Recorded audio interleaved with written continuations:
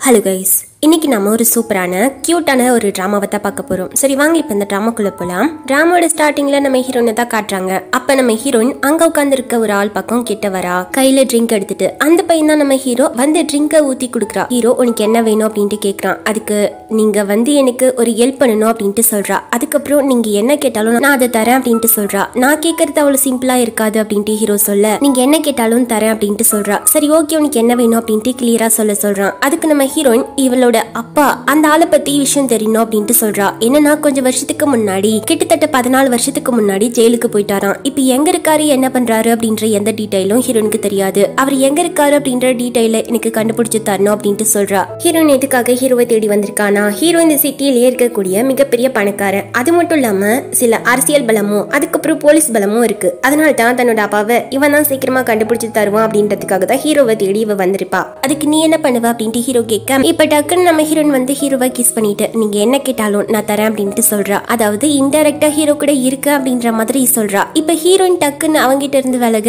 ஆனா hero return ஹீரோயினை kiss பண்ணிட்டு அப்படின்னா ஓகே அப்படின்ட்டு சொல்றான். இதுக்கப்புறம் ஹீரோயினோட அப்பாவை பத்தி விசாரிக்க பதினாலு வருஷத்துக்கு முன்னாடி அவரை போலீஸ் அரெஸ்ட் பண்ணிருக்காங்க அப்படின்றது தெரிய வருது. சரி ஓகே அந்த ஆளை வந்து எங்க இருக்காரு அப்படின்றத கண்டுபிடிச்சு அந்த பொண்ணை வந்து மீட் பண்ண சொல்லு அப்படின்ட்டு சொல்றான் ஹீரோ ஹீரோயினை பத்தின டீட்டெயிலும் ஹீரோ விசாரிச்சிருப்பான். ஹீரோயின் வந்து இப்ப டீச்சரா இருக்காளாம். அதுக்கு முன்னாடி அவங்க அம்மாவும் டீச்சரா தான் இருந்திருக்காங்க போல. அவங்க அப்பா ஏதோ பிசினஸ்ல இன்வால்வ் ஆகியிருக்காரு. இந்த பக்கம் ஹீரோயினை காட்டினாங்கன்னா ஹீரோயின் வந்து ஒரு யூனிவர்சிட்டி டீச்சரா இருக்கா. இப்பதான் ட்ரைனிங் டீச்சரா இருக்கா. இவளுக்கு ஒரு ஃப்ரெண்ட் இருக்கா. அந்த பொண்ணு ஒரு மேக்கப் ஆர்டிஸ்ட் ஹீரோயினுக்கு அந்த பொண்ணுன்னா ரொம்ப பிடிக்கும். ஹீரோயின் மேல அந்த பொண்ணுமே ரொம்ப பாசமா இருப்பா. அதுவும் ஹீரோயினுக்கு ஒரு பிரச்சனை இருக்கு. என்னன்னா ஹீரோயின் யார்கிட்டயுமே க்ளோஸா அக் பண்றது இந்த மாதிரி இருக்க மாட்டா. என் பொண்ணுங்க கிட்ட கூட அக் பண்ண மாட்டா. இந்த பிரச்சனை உனக்கு இருக்கா இன்ன வரைக்கும் அப்படின்ட்டு அவளோட ஃப்ரெண்டு கேட்க ஹீரோயினா ஆமா அப்படின்றா. நீ முதல்ல ஒரு பாய் ஃப்ரெண்டை தேடி லவ் பண்ண ஸ்டார்ட் பண்ணு. அதுக்கப்புறம் இந்த பிரச்சனை எல்லாம் தானாவே போயிடும் அப்படின்ட்டு சொல்றா. இப்ப ஹீரோன் வந்து ஹீரோ கூட இருந்த அந்த மூமெண்ட்டை நினைச்சு பாக்குறா அதாவது கிஸ் பண்ணிருப்பால அந்த விஷயத்த நினைச்சு பாக்குறா அதுக்கப்புறம் சரி ஓகே அப்படின்ட்டு இப்ப அவளோட ஃப்ரெண்டு ஹீரோயினை அங்க இருந்து ஒரு இடத்துக்கு கூட்டிட்டு போறா. அது வந்து ஏதோ ஒரு பார்ட்டி நடக்கிற இடம் போல. அந்த இடத்துக்கு ஹீரோயினை அழகா ட்ரெஸ் பண்ணி கூட்டிட்டு போயிருக்கா. இங்க வரவங்க எல்லாமே பணக்கார பசங்களாம். கண்டிப்பா உனக்கு எதுனா ஏத்த மாதிரி பசங்க கிடைப்பாங்க அப்படின்றதுக்காக தான் அங்க கூட்டிட்டு போயிருக்கா. அதுக்காக அங்க அவ போல. எதுக்காக? நாங்க பணக்கார பொண்ணுங்க இருப்பாங்கல்ல. அவங்களுக்கு மேக்கப் பண்றதுக்காக தான் இவங்க போயிருப்பா. அப்ப நம்ம ஹீரோயினுக்கு அது கொஞ்சம் எப்படி சொல்றது அன்கம்ஃபர்டபுளா இருக்கு. அதனால அங்க ட்ரெஸ்ஸை அவள் வரதுக்குள்ளவே சேஞ்ச் பண்ணிடலாம் அப்படின்ட்டு ரெஸ்ட் ரூமுக்கு போக அதே இடத்துல நம்ம ஹீரோவும் வந்திருக்கான். அவன் ஹீரோனை பார்த்துட்டு இங்கே என்ன பண்றா அப்படின்ட்டு அவள் பின்னாடியே போக திடீர்னு பாத்ரூம்குள்ளே ஹீரோ வரதை பார்த்தோன்னே ஹீரோயின் ஷாக் ஆகிட்டா. ஏன்னா அப்ப ட்ரெஸ்ஸை இவ ஆஃப் கழட்டி இங்கே இங்க என்ன பண்ணுறா அப்படின்ட்டு ஹீரோ கேட்குறான் இல்லை என்னோட ஃப்ரெண்டு வந்து மேக்கப் ஆர்டிஸ்ட் இங்க மேக்கப் போடுறதுக்காக வந்தா. அவ தான் என்னங்க கூட்டிட்டு வந்தா அப்படின்ட்டு சொல்றா. இப்ப ஹீரோ அவளை பின்னாடி திருப்பி அந்த ஜிப்பை போட்டு விட்டுறான் அதுக்கப்புறம் ஹீரோயின் கிட்ட எனக்கு இந்த மாதிரி ட்ரெஸ் பண்ணா சுத்தமாக பிடிக்காது. நம்ம இன்னும் டீல்ல இருந்து வெளியே வரவே இல்லை. இது ஞாபகம் இருக்கட்டும். அதனால இந்த மாதிரி எக்ஸ்போஸ் பண்ற மாதிரி ட்ரெஸ் போடாத அப்படின்ட்டு அவன் மேல கோட்டு கழுத்தி போட்டு விட்டுட்டு அது மட்டும் இல்லாம நீ இந்த கண்ணாடியை கழட்டு. அப்பதான் அழகா இருப்ப அப்படின்னு சொல்லிட்டு அங்கிருந்து கிளம்பி போயிடுறான். ஹீரோயின் அந்த கண்ணாடி கழட்டிட்டு பாக்குறா. ரொம்ப அழகா இருக்க மாதிரி இருக்கு இவளுக்கே. இதுக்கப்புறம் ஹீரோ அவங்க அப்பாவை ஜெயிலுக்கு போயிட்டு ஹீரோயின் மீட் பண்ற மாதிரி ஒரு அரேஞ்ச்மெண்ட்ஸை பண்றான். அங்க போயிட்டு அவங்க அப்பாவை மீட் பண்ணி அப்பா எதுக்காக உங்களை போலீஸ் அரெஸ்ட் பண்ணாங்க? இத்தனை வருஷம் எதுக்காக நான் வந்து உங்களை பார்க்க முடியல? நீங்க எங்க இருக்கீங்க? அப்படின்றது கூட எனக்கு தெரியல. என்ன ஆச்சு? ஏன்? இதுக்கு பின்னாடி வேற யாருனா இருக்காங்களா அப்படின்ட்டு ஹீரோனுக்கு நிறைய கொஷின் இருக்கு. பட் அவர் எதுவுமே வாயை திறந்து பேசவே மாட்டேங்கிறாரு. நீ நல்லா இருமா. நீ நல்லா இருக்கிறது தான் எனக்கு முக்கியம் அப்படின்ட்டு சொல்றாரு. ஹீரோன் கத்தி கத்தி பாக்குறா. என்னப்பா ஆச்சு? ஏன் என்கிட்ட எதுவுமே சொல்ல மாட்டேங்கிறீங்கன்ட்டு? ஆனா அவர் எதுவுமே சொல்லாம மறுபடியும் அங்க இருந்து போயிடுறாரு. ஹீரோனை ஹீரோட அசிஸ்டன்ட் தான் கார்ல இருந்து கூட்டிட்டு வந்துட்டு இருக்கான். அப்ப ஹீரோனுக்கு தோணுது மறுபடியும் எப்படியாச்சும் அவரை மீட் பண்ணணும். அதாவது அவங்க அப்பாவை மீட் பண்ணணும். என்ன நடந்துச்சு அப்படின்றத கிளியரா கேட்டா மட்டும்தான். இவளுக்கு தெரிய வரும் அப்படின்ட்டு நினைக்கிறா. இப்ப ஸ்டேட்டா ஹோட்டல் ரூமுக்கு தான் ஹீரோனை கூட்டிட்டு போறாங்க. ஏன்னா ஹீரோ கிட்ட ஏற்கனவே சொல்லியிருப்பாள்ல. நீங்க என்ன கேட்டாலும் நான் அதை தரேன்ட்டு. அவ என்ன தரேன் அப்படின்னு சொல்லியிருப்பா அப்படின்றது நமக்கே தெரியும்ல. அங்க போறா குளிச்சுட்டு அப்பதான் வரா. அப்ப கிட்ட வந்த ஹீரோ அவ கிட்ட போறான். பட் ஹீரோன் ஒரு மாதிரி பயந்து நடுங்கிற மாதிரி இருக்கு. கண்ணெல்லாம் கலங்குது. இத பார்த்த ஹீரோ டக்குன்னு எழுந்திருச்சுட்டு எனக்கு ஒருத்தங்களை ஃபோர்ஸ் பண்றதெல்லாம் சுத்தமா பிடிக்காது அப்படின்ட்டு எழுந்திருச்சுட்டான். அதுக்கு ஹீரோயின் இல்ல எனக்கு ஒருத்தங்க கிட்ட நெருங்கி வந்தாலே பிடிக்காது. இது வரைக்கும் நான் யாரையும் டச் பண்ணதில்ல கூட பண்ணதில்ல. அதனால தான் எனக்கு ஒரு மாதிரி இருந்துச்சு அப்படின்ட்டு சொல்றா. அதுக்கு ஹீரோ நீ நான் தான் ஃபர்ஸ்ட் ஆள் அப்படின்ட்டு சொல்லிடாது அப்படின்றான். அதுக்கு ஹீரோயின்மே அப்படி நான் சொன்னா நீங்க நம்புவீங்களா அப்படின்ட்டு கேட்கிறான் இப்பதான் புரியுது ஹீரோயினோட ஃபர்ஸ்ட் டைம் தான் இது அப்படின்ட்டு. இது கேட்ட ஹீரோ இதெல்லாம் நம்ம அப்புறமா பாத்துக்கலாம். நீ வீட்டுக்கு கிளம்பி போ அப்படின்ட்டு அங்கிருந்து ஹீரோ கிளம்பி போயிட்டான். இதுக்கப்புறம் மறுபடியும் ஹீரோயினோட அப்பாவை பத்தி ஹீரோ விசாரிக்க சொல்றான். இந்த பக்கம் அப்படி ஹீரோயினை காட்டினா ஹீரோயினோட காலேஜ்ல இன்னொரு ஒரு டீச்சருக்கு மேரேஜ் ஆக போதான். அதனால எல்லாருமே இன்வைட் பண்றாங்க ஹீரோயினையுமே கூட சேர்த்து இன்வைட் பண்றாங்க. மேக்ஸிமம் ஹீரோயின் இந்த மாதிரி செலிப்ரேஷனுக்கெல்லாம் போக மாட்டா. இருந்தாலுமே இவங்க ரொம்ப ஃபோர்ஸ் பண்றதுனால ஹீரோயினும் சரி ஓகே வரேன் அப்படின்ட்டு ஒத்துக்கிட்டா. இப்போ அந்த இடத்துக்கு போயிருக்கும் போது ஹீரோயின் வந்து ட்ரிங்க் பண்ண மாட்டா. அங்க இருக்கவங்க ட்ரிங்க் பண்ண சொல்லி ஃபோர்ஸ் பண்றாங்க. ஹீரோயினும் வேணாம் அப்படின்ட்டு தடுத்து பாக்குறா.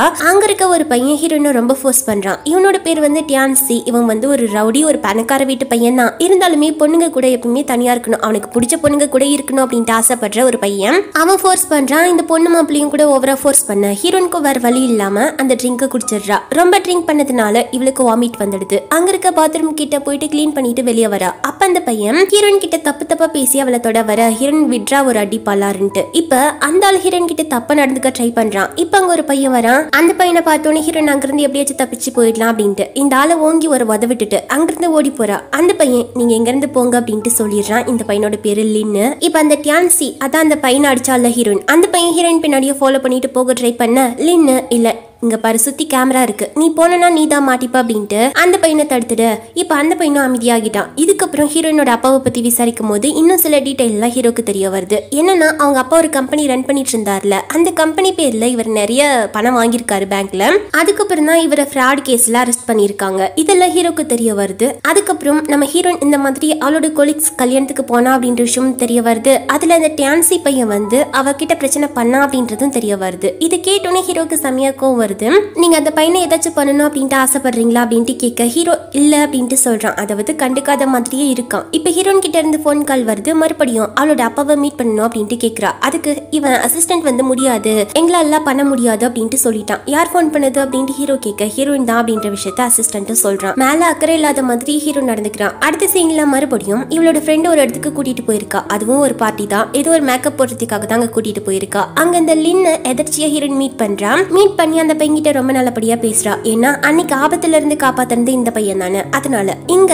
எதர்ச்சியா நம்ம ஹீரோவும் வந்திருக்கான். அவனும் இதை பார்த்து பயங்கரமா கடுப்பாகிறான். அதோ ஹீரோயின் அந்த பையன்கிட்ட பேசும்போது சிரிச்சு சிரிச்சு பேசிட்டு இருப்பா. ஹீரோ கூட இருக்கும் போது அவ ஒரு வாட்டி கூட சிரிச்சதே கிடையாதான். இப்ப சிரிச்சு சிரிச்சு பேசுறாளே அப்படின்ட்டு கடுப்பாகுது. இப்ப அசிஸ்டன்ட் வீட்டு ஹீரோயினை கூட்டிட்டு வர சொல்றான் ஹீரோ அவளும் அங்க இருந்து போக இப்ப எதுக்காக அவங்க கிட்ட க்ளோஸா இருக்க? அந்த பையனை அதாவது நம்ம டீல் இன்னும் முடியவே இல்ல. அதுக்குள்ள அந்த பையன் கூட க்ளோஸா இருக்க ட்ரை பண்றியா? நீ வந்து என் கூட போட்டு டீல மறந்துடாது அப்படின்ட்டு சொல்றான். ஆனா எங்க அப்பா என்ன மீட் பண்ண தயாராவே கிடையாது அப்படின்றா. அதுக்கு ஹீரோ நீ என் கூட கொஞ்சம் வரையா?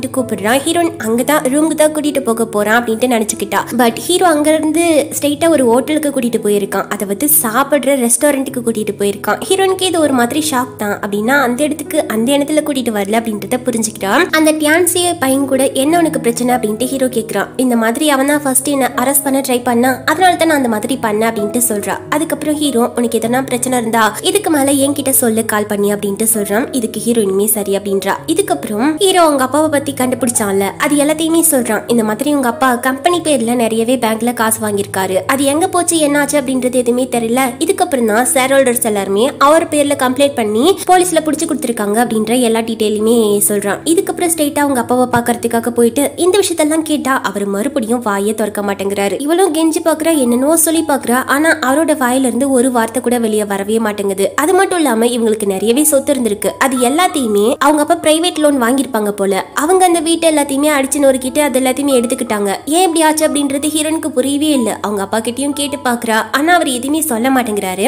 இப்போதைக்கு நீயும் உங்க அம்மாவும் நல்லா தானே இருக்கீங்க. அதை அப்படியே மெயின்டைன் பண்ணிக்கோங்க. எதையுமே தெரிஞ்சுக்க காசப்படாது அப்படின்னு சொல்லிட்டு இவர் பாட்டுக்கு அங்க இருந்து போயிட்டாரு. ஹீரோனுக்கு ஒரு மாதிரி குழப்பமாகுது. எதனால இந்த மாதிரி ஆகுது அப்படின்னு சொல்லிட்டு யூனிவர்சிட்டியில உட்காந்து இதை பத்தியே யோசிச்சுட்டு இருக்கு. அப்ப அந்த மேரேஜ் பண்ணாங்கல்ல அந்த பொண்ணு வருது. அந்த டீச்சர் வராங்க. அவங்க வந்து அன்னைக்கு ஹீரோயின் வந்து அந்த டான்சி பையனை அடிச்சுட்டு போனால அதை பத்தி அந்த ஆள் மேல தான் தப்பு. இருந்தாலுமே ஹீரோயின் தான் என்னவோ போயிட்டு அந்த கல்யாணத்தை கெடுத்த மாதிரி இந்த பொண்ணு வந்து ஹீரோயின் கிட்ட சண்டை போடுது. அதுக்கு ஹீரோயின் சாரியும் கேக்குறா.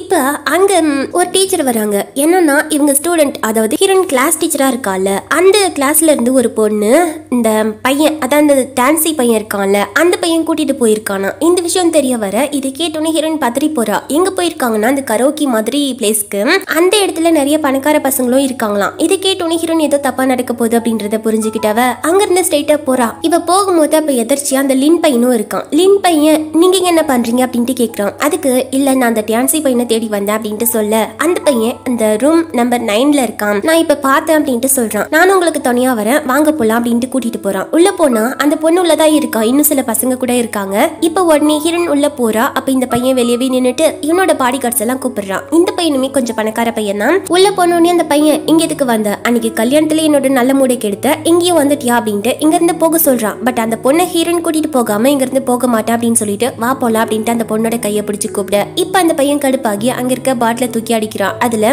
கண்ணாடி எல்லாம் உடஞ்சி ஒரு கண்ணாடி வந்து ஹீரோனோட கையில கிழிச்சிடுது. அங்க வந்த லின்னோட பாடி கார்ட்ஸ் எல்லாருமே அந்த பசங்களை தடுத்து நிப்பாட்டிடுறாங்க. இதுக்கப்புறம் அந்த பொண்ணை கூட்டிட்டு வெளியே போகும்போது அந்த பொண்ணுக்கு வயிறு வலி எடுக்குது. ஹீரோன் அங்கிருந்து ஹாஸ்பிட்டலுக்கு கூட்டிட்டு போறா. இங்க நடந்த எல்லா விஷயமும் அசிஸ்டன்ட் சொல்லி ஹீரோக்கு தெரிய வருது. இப்ப அவளுக்கு எப்படி இருக்கு அப்படின்ட்டு ஹீரோ கேக்குறான். அவளுக்கு கையில சின்ன அடிதான். இப்ப ஹாஸ்பிட்டல் இருக்காங்க அப்படின்ட்டு சொல்ல. அந்த பொண்ணு தான் கூட்டிட்டு ஹாஸ்பிட்டலுக்கு போயிருக்காங்க அப்படின்ற விஷயம் ஹீரோக்கு தெரிய வருது. அந்த லின் பையன் தான் பாடி கார்ட்ஸ் எல்லாம் கூட்டிட்டு போயிட்டு காப்பாத்திருக்கான் அப்படின்ற விஷயமும் ஹீரோக்கு தெரிய வருது. இதை கேட்டோன்னே ஹீரோக்கு இன்னும் கொஞ்சம் தான் கோவம் வருது. இந்த பக்கம் நம்ம ஹீரோயின் ஹாஸ்பிட்டலுக்கு போயிருக்கா? அப்பதான் ஒரு முக்கியமான விஷயம் தெரிய வருது. அந்த பொண்ணுக்கு வயிறு வலி எடுக்க ஆரம்பிச்சிச்சு இல்ல அந்த பையன் அந்த பொண்ணுக்கு வந்து நிறைய பர்த் கண்ட்ரோல் பில்ஸ் கொடுத்துருப்பான் போல. அவ கூட ஒன்னா இருந்துட்டு இருந்துட்டு. அதனால அந்த பொண்ணு வந்து இதுக்கு மேல தாயாகவே முடியாதான். இந்த விஷயம் தெரிய வருது. கண்டிப்பா அவ வந்து நார்மலா மாறிடுவா அப்படின்ட்டு ஹீரோனுக்கு நம்பிக்கை இருக்கு. இத பத்தி யோசிச்சுட்டு நின்றுட்டு இருக்கும் இந்த டியான்சி பையனும் அவங்க கூடவே சில பல ஆட்களும் வந்துடுறாங்க. இதை பார்த்த ஹீரோன் அங்கிருந்து ஓட்டம் பிடிக்க அந்த ஆட்கள் பாத்துடுறாங்க இப்ப அங்கிருந்து ஹீரோன் ஓடி போயிட்டு இருக்கா ஓடி போகும்போது ஹீரோக்கு கால் பண்ணி இந்த மாதிரி அவங்க என்ன துரத்திட்டு வராங்க அப்படின்ற விஷயத்த ஹீரோ கிட்ட சொல்றா. அவன் உடனே இங்க இருந்து ஹாஸ்பிட்டல் பக்கமே ஒரு பில்டிங் இருக்கும். அந்த இடத்துக்கு போ. அவங்க எல்லாருமே என்னோட ஆட்கள் தான். அவங்க கண்டிப்பா தடுத்துடுவாங்க அப்படின்ட்டு சொல்றான். அங்க போன உடனே சில பாடி கார்ட்ஸ் இருக்காங்க. அவங்களுக்குள்ள போன உடனே அவங்க அந்த பசங்களை உள்ள விட மாட்டேங்கிறாங்க. அவன் மிரட்டிட்டு போறான். கண்டிப்பா என்கிட்ட என்னைக்கா இருந்தாலும் மாட்டுவேன் அப்படின்னு சொல்லிட்டு. இதுக்கப்புறம் ஹீரோனை சேவ் பண்ணிட்டாங்க அப்படின்ற விஷயம் ஹீரோக்கு தெரிய வருது. அப்பதான் ஹீரோக்கு உயிரே வருது. நிம்மதி பெருமூச்சியை விடுறான் இதுக்கப்புறம் ஹீரோயினை சேஃபா அங்கிருந்து கூட்டிட்டு ஹோட்டல் ரூமுக்கு வராங்க. அப்ப ஹீரோ அவளை உட்கார வச்சு அவளோட கையில அடிபட்டிருக்கும். அதுக்கெல்லாம் மருந்து போட்டு விடுறான் இதுக்கப்புறம் அவன் அங்கிருந்து கிளம்ப பார்க்கும்போது நம்ம ஹீரோயின் அவனுடைய கையை பிடிச்சு நான் வந்து உங்களுக்கு கடங்காரியா இருக்க விரும்பல அப்படின்றா. என்னன்னா அவங்க அப்பாவை மீட் பண்றதுக்காக அரேஞ்ச்மெண்ட்ஸ் எல்லாமே பண்ணியிருப்பான்ல. இவளோட டீலு இவன் வந்து அதை பண்ணிட்டானா? அதுக்கப்புறம் இவன் கூட ஒன்னா இருக்கிறது தானே? அதனால தான் கடங்காரியே இருக்க வேணாம் அப்படின்ட்டு நினைக்கிறேன் அப்படின்ட்டு சொல்றா. இதை கேட்ட ஹீரோ டக்குன்னு ஹீரோயினை கிஸ் பண்ண அன்னைக்கு ரெண்டு பேருமே ஒன்னா இருக்காங்க. இதுக்கப்புறம் அடுத்த நாள் மார்னிங் நம்ம ஹீரோ கண்மொழிக்கிறான். கண்மொழிச்ச ஹீரோயின் கிட்ட இதுக்கு மேல உனக்கு என்ன ஹெல்ப் வேணாலும் என்கிட்ட கேளு அப்படின்ட்டு சொல்றான். இப்படி சொல்லிட்டு அவன் அங்கிருந்து கிளம்பி போயிடுறான். இதுக்கப்புறம் அவளோட ஃப்ரெண்டை மீட் பண்றதுக்காக கிளம்பி போறா. இதுக்கு மேல ஹீரோ சேஃபான இடத்துல நீ இரு அப்படின்ட்டு சொல்லியிருப்பான். அதுக்காக தான் இதுக்கு மேல அவ வந்து இருந்த வீட்டை விட்டுட்டு அவளோட ஃப்ரெண்டு வீட்டுல தங்கலாம் அப்படின்ட்டு முடிவு பண்ணியிருக்கா. அவகிட்ட போயிட்டு கேட்க நீ எத்தனை நாள் வேணாலும் என் கூட தங்கிக்கலாம். இதெல்லாம் நீ கேட்கணும் அப்படின்ற அவசியம் கூட கிடையாது. ஆனா அதுக்கு பதில்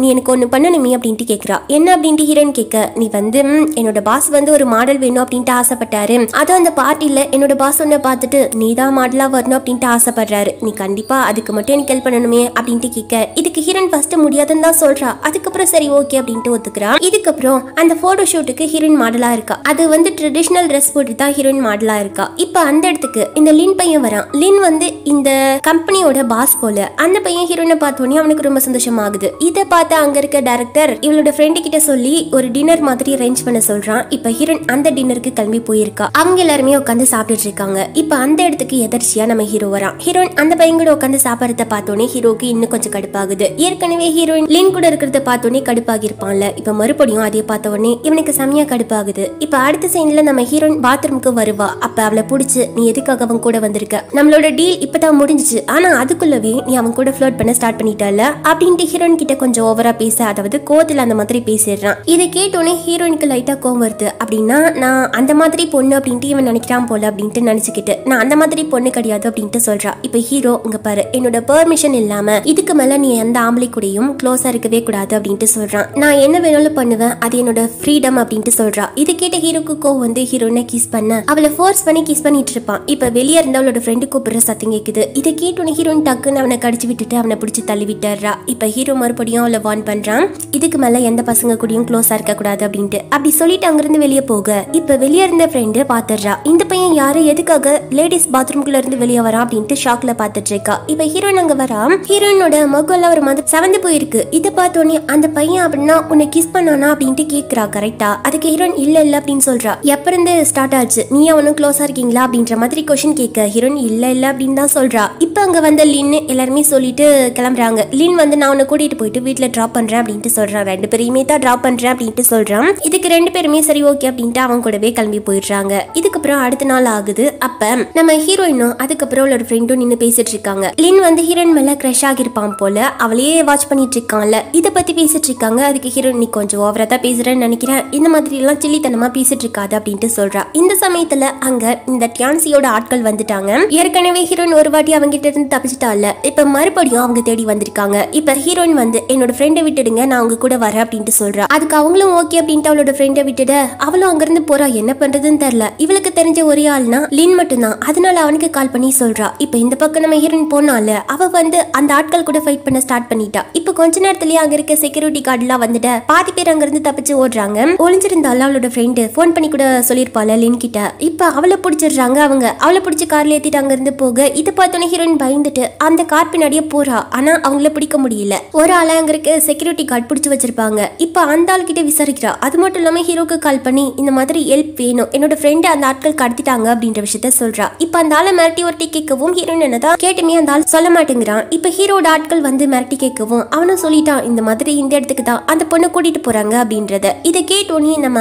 ஹீரோயினும் ஹீரோவா அங்கிருந்து கிளம்புறாங்க. அதே சமயம் லின் கிட்ட இருந்து ஹீரோனுக்கு ஃபோன் கால் வருது. என்னாச்சு? உன்னோட ஃப்ரெண்ட் சில பேர் வந்து கடத்த போறதா சொன்னாலே என்னாச்சு? அப்படின்னு சொல்லிட்டு அதுக்கு ஹீரோயின் பரவாயில்ல நான் இப்போ ஓகே தான் அப்படின்ட்டு சொல்லிட்டு சொல்லிடுறா. நம்ம ஹீரோ கேட்கிறான் லின்னுக்கு உனக்கு எப்படி பழக்கம்? அப்படின்னு சொல்லிட்டு அதுக்கு ஹீரோயின் சொல்றா இந்த மாதிரி நான் ஒரு பார்ட் டைம் ஜாப் பார்க்குறேன் அப்பதான் வந்து இந்த மாதிரி பழக்கம் அப்படின்னு சொல்லிட்டு பார்ட் டைம் ஜாபா அப்படின்னு ஜாப் அப்படின்ட்டு ஹீரோ கேட்குறான் மார்லிங் அப்படின்ட்டு சொல்ல இதுக்கு மேலே நீ அதை பண்ணாத அப்படின்ட்டு சொல்றான். ஏன்னா ஹீரோக்கு அது பிடிக்கலையா அதே மாதிரி நம்ம ஹீரோயினுக்கு அது பிடிக்கல. அவளோட ஃப்ரெண்டு கேட்டதுனால தான் இதை பண்ணியிருப்பா. இப்போ ரெண்டு பேருமே அங்கிருந்து போறாங்க. இவ பயங்கரமா அவளை அக் பண்ணிட்டு அழுகுறா. பட் அவ என்னடா டூருக்கு வந்த மாதிரி ஜாலியா என்ஜாய் பண்ணிட்டு இருக்கா. அப்போ கூட ஹீரோவை பார்த்துட்டு யார் அந்த பசங்க? பணக்கார பசங்களா? பாத்தியா ஃபிட்டா ஹேண்ட்ஸமா இருக்காங்க? அப்படின்ட்டு அதை பத்தி பேசிட்டு இருக்கா. இவளுக்கு பயமே இல்ல போல. அதுக்கப்புறம் அவளை அங்கிருந்து ஹாஸ்பிட்டலுக்கு கூட்டிட்டு போயிட்டா ஹீரோயின் அவளோட கையெல்லாம் அடிபட்டிருக்கும் போல. ஹீரோ வந்து ஹீரோயின் தனியா இருக்கக்கூடாது அப்படின்ட்டு கூடவே ஒரு பாடி கார்டை போட்டு வச்சிருக்கான். ஹீரோயினுக்கு பாதுகாப்பா இருக்கணும் அப்படின்ட்டு. அதுக்கப்புறம் ஹீரோ கால் பண்ணி உன்னோட ஃப்ரெண்ட் எப்படி இருக்கா? ஓகேவா இப்ப அவளுக்கு ஏதாச்சும் ஆபத்து இருக்கா? அப்படின்ட்டு கேட்க இல்ல ஓகே தான். இதுக்கப்புறம் ஹீரோ தனியா ஹீரோயின் இருக்கக்கூடாது அப்படின்னு சொல்லிட்டு என்னோட பிளேஸ் ஒன்னு இருக்கு. என்னோட அபார்ட்மெண்ட் ஒன்னு இருக்கு. அங்க நீ வந்துட்டு என்னோட பாடி கார்டு ஒன்று அங்க கூட்டிட்டு வந்துடுவான் அப்படின்ட்டு சொல்றான். அதுக்கு ஹீரோயின் மீ சரி ஓகே அப்படின்றா. இப்ப அங்க கிளம்பி போனா அந்த வீடே அவ்வளோ அழகா இருக்கு. இப்ப அதெல்லாம் பார்த்துட்டு அங்க ஹீரோ ஒரு ட்ரெஸ்ஸும் வச்சிருக்கான். அது மட்டும் இல்லாம கூட ஒரு கார்டும் வச்சிருக்கான். உனக்கு தேவையான பொருளெல்லாம் வாங்கிக்கோ. இன்னைக்கு எனக்கு கொஞ்சம் டைம் இல்லை. நான் வேலையில இருக்கேன் அப்படின்ட்டு சொல்லிட்டு வச்சுட்டு போயிருக்கான். இப்ப ஹீரோயின் அதெல்லாம் எடுத்து பார்த்துட்டு ஒரு ட்ரெஸ் இருக்கும். ஒரு ஷர்ட் இருக்கும். அது ஹீரோட ஷர்ட் தான் போல. அது குளிச்சுட்டு ரெடி ஆயிட்டு போட்டுட்டு இருக்கா. அப்ப நம்ம ஹீரோ திடீர்னு உள்ள வந்துட்டான். அவனை பார்த்தோன்னே ஹீரோயின் பயந்துடுறா. இதுக்கப்புறம் நீங்க வரும்போது கொஞ்சம் கதவை தட்டிட்டு வாங்க அப்படின்றா. இது என்னோட ரூம் நான் எதுக்காக கதவை தட்டிட்டு வரணும் அப்படின்றான் ஹீரோ. இப்ப ஹீரோயினோட அந்த நெத்தில வந்து அடிபட்டுருக்கு. இதை பார்த்தவன் அவளுக்கு மருந்து போட்டு ஓடுறான். இதை பார்த்த ஹீரோன் நீங்க என் மேல அக்கறையில் தான் இதை பண்றீங்களா? அப்படின்ட்டு கேட்குறா அதுக்கு ஹீரோ சச்சா அப்படி எல்லாம் கிடையாது. எனக்கு இந்த மாதிரி அடிபட்டு அசிங்கமா இருந்தா பிடிக்காது. எனக்கு அழகான பொண்ணுங்களா தான் பிடிக்கும் அப்படின்றான். நான் எதுக்காக இதெல்லாம் எக்ஸ்பெக்ட் பண்றேன்? எங்களோட ரிலேஷன்ஷிப் ஒரு கான்ட்ராக்ட் ரிலேஷன்ஷிப் மாதிரி தானே. இதெல்லாம் நான் எதுக்கு எக்ஸ்பெக்ட் பண்றேன் அப்படின்னு சொல்லிட்டு இவ ஒரு மாதிரி சோகமாகறா. அடுத்த நாள் ஹீரோ எழுறதுக்கு முன்னாடி ஹீரோயின் சமைச்சிட்டு எடுத்துட்டு வந்து வைக்கிறான். ஹீரோவுக்கும் சமைச்சு வச்சிருக்கா போல. இதை சொல்ல ஹீரோவும் வந்து உட்காந்து சாப்பிடுறான். ஹீரோயின் சமைச்சிருக்கிறது அவனுக்கு அவ்வளவு பிடிச்சிருக்கு. இதுக்கு மேல நான் ஹோட்டல்லாம் சாப்பிட மாட்டேன். இங்கேயே சாப்பிட்டுக்கிறேன் அப்படின்ட்டு சொல்றான். இதை கேட்டோன்னே ஹீரோயினும் லைட்டா சிரிக்கிறா. இதுக்கப்புறம் ஹீரோயின் அவளோட அம்மாவை பாக்குறதுக்காக போயிருக்கா. ரொம்ப ஜாலியா இப்ப அவங்க அம்மா வந்து ஹாஸ்பிட்டல்ல இருந்து டிஸ்சார்ஜ் ஆகி வெளியே வந்திருப்பாங்க போல. அவங்க அம்மாவை மீட் பண்ணி பேசுறா. இப்ப இவ வந்து ஹீரோ கூட தங்கி இருக்கிறது அவங்க அம்மாவுக்கு தெரியாது போல. அதனால இவ என்ன சொல்றானா நான் வந்து ஸ்கூல் பக்கமே வந்து ஸ்டே பண்றதுக்கு வீடு பார்த்துட்டேம்மா அந்த இடத்துல இருந்து போனாதான் எனக்கு ஸ்கூலில் நிறைய இப்போ வர வர வேலை அதிகமாகிடுச்சு அதனால நான் அங்கேயே ஸ்டே பண்ணிக்கிறேம்மா. இதுக்கு மேலே நீ தான் உன் உடம்ப பார்த்துக்கணும் ரொம்ப ஜாக்கிரதையாக இருங்கம்மா அப்படின்ட்டு சொல்கிறா அதுக்கு அவங்க அம்மாவும் நான் ஜாக்கிரதையாக இருந்து என்னோட உடம்ப பார்த்துக்கிறேன் நீயும் ஜாக்கிரதையாக இரு அப்படின்ட்டு சொல்கிறாங்க அதுக்கப்புறம் ஹீரோனோட நெத்தியில் இருக்க காயத்தை பார்த்துட்டு என்னாச்சு உனக்கு? எதுனா அடிபட்டுடுச்சு? ஆக்சிடென்ட் ஆச்சா? அப்படின்ட்டு கேட்குறாங்க பாத்திரி போய். அதுக்கு ஹீரோன் இல்லைம்மா இப்போ நான் ரொம்ப ஒர்க் பண்ணுறேன்ல தெரியாமல் சோத்தில் மோதிக்கிட்டேன் அப்படின்ட்டு போய் சொல்லி சமாளிச்சிடுறா. இதுக்கப்புறம் காலேஜுக்கு வந்து கிளம்பி போயிடுறா. அப்போ இந்த பொண்ணு இருக்கும்ல அதான் ஃபர்ஸ்ட் ஸ்டார்டிங்ல கல்யாணம் ஆச்சுல்ல அந்த பொண்ணு வருது. வந்து ஹீரோனை திட்டுது. இதுக்காகன்னு பார்த்தா நம்ம ஹீரோயின் அங்க இருந்து பார்க்கு போயிருந்தால அந்த பார்ல அந்த பசங்க கிட்ட இருந்து அந்த பொண்ணை காப்பாத்தி கூட்டிட்டு வந்தால பட் அந்த வீடியோவை வெளியே வந்து தப்பான மாதிரி போர்ட்ரேட் பண்ணி போட்டிருக்காங்க. எப்படின்னா நம்ம ஹீரோயின் வந்து அந்த பார்க்கு போய் அந்த பசங்க கூட கூத்தடிச்சா அப்படின்ற மாதிரி தப்பா ரிலீஸ் பண்ணிருக்காங்க. இது ஃபேக் அப்படின்ட்டு ஹீரோயின் சொல்றா. அந்த பொண்ணு வந்து நீங்க இருக்கவே மாட்ட.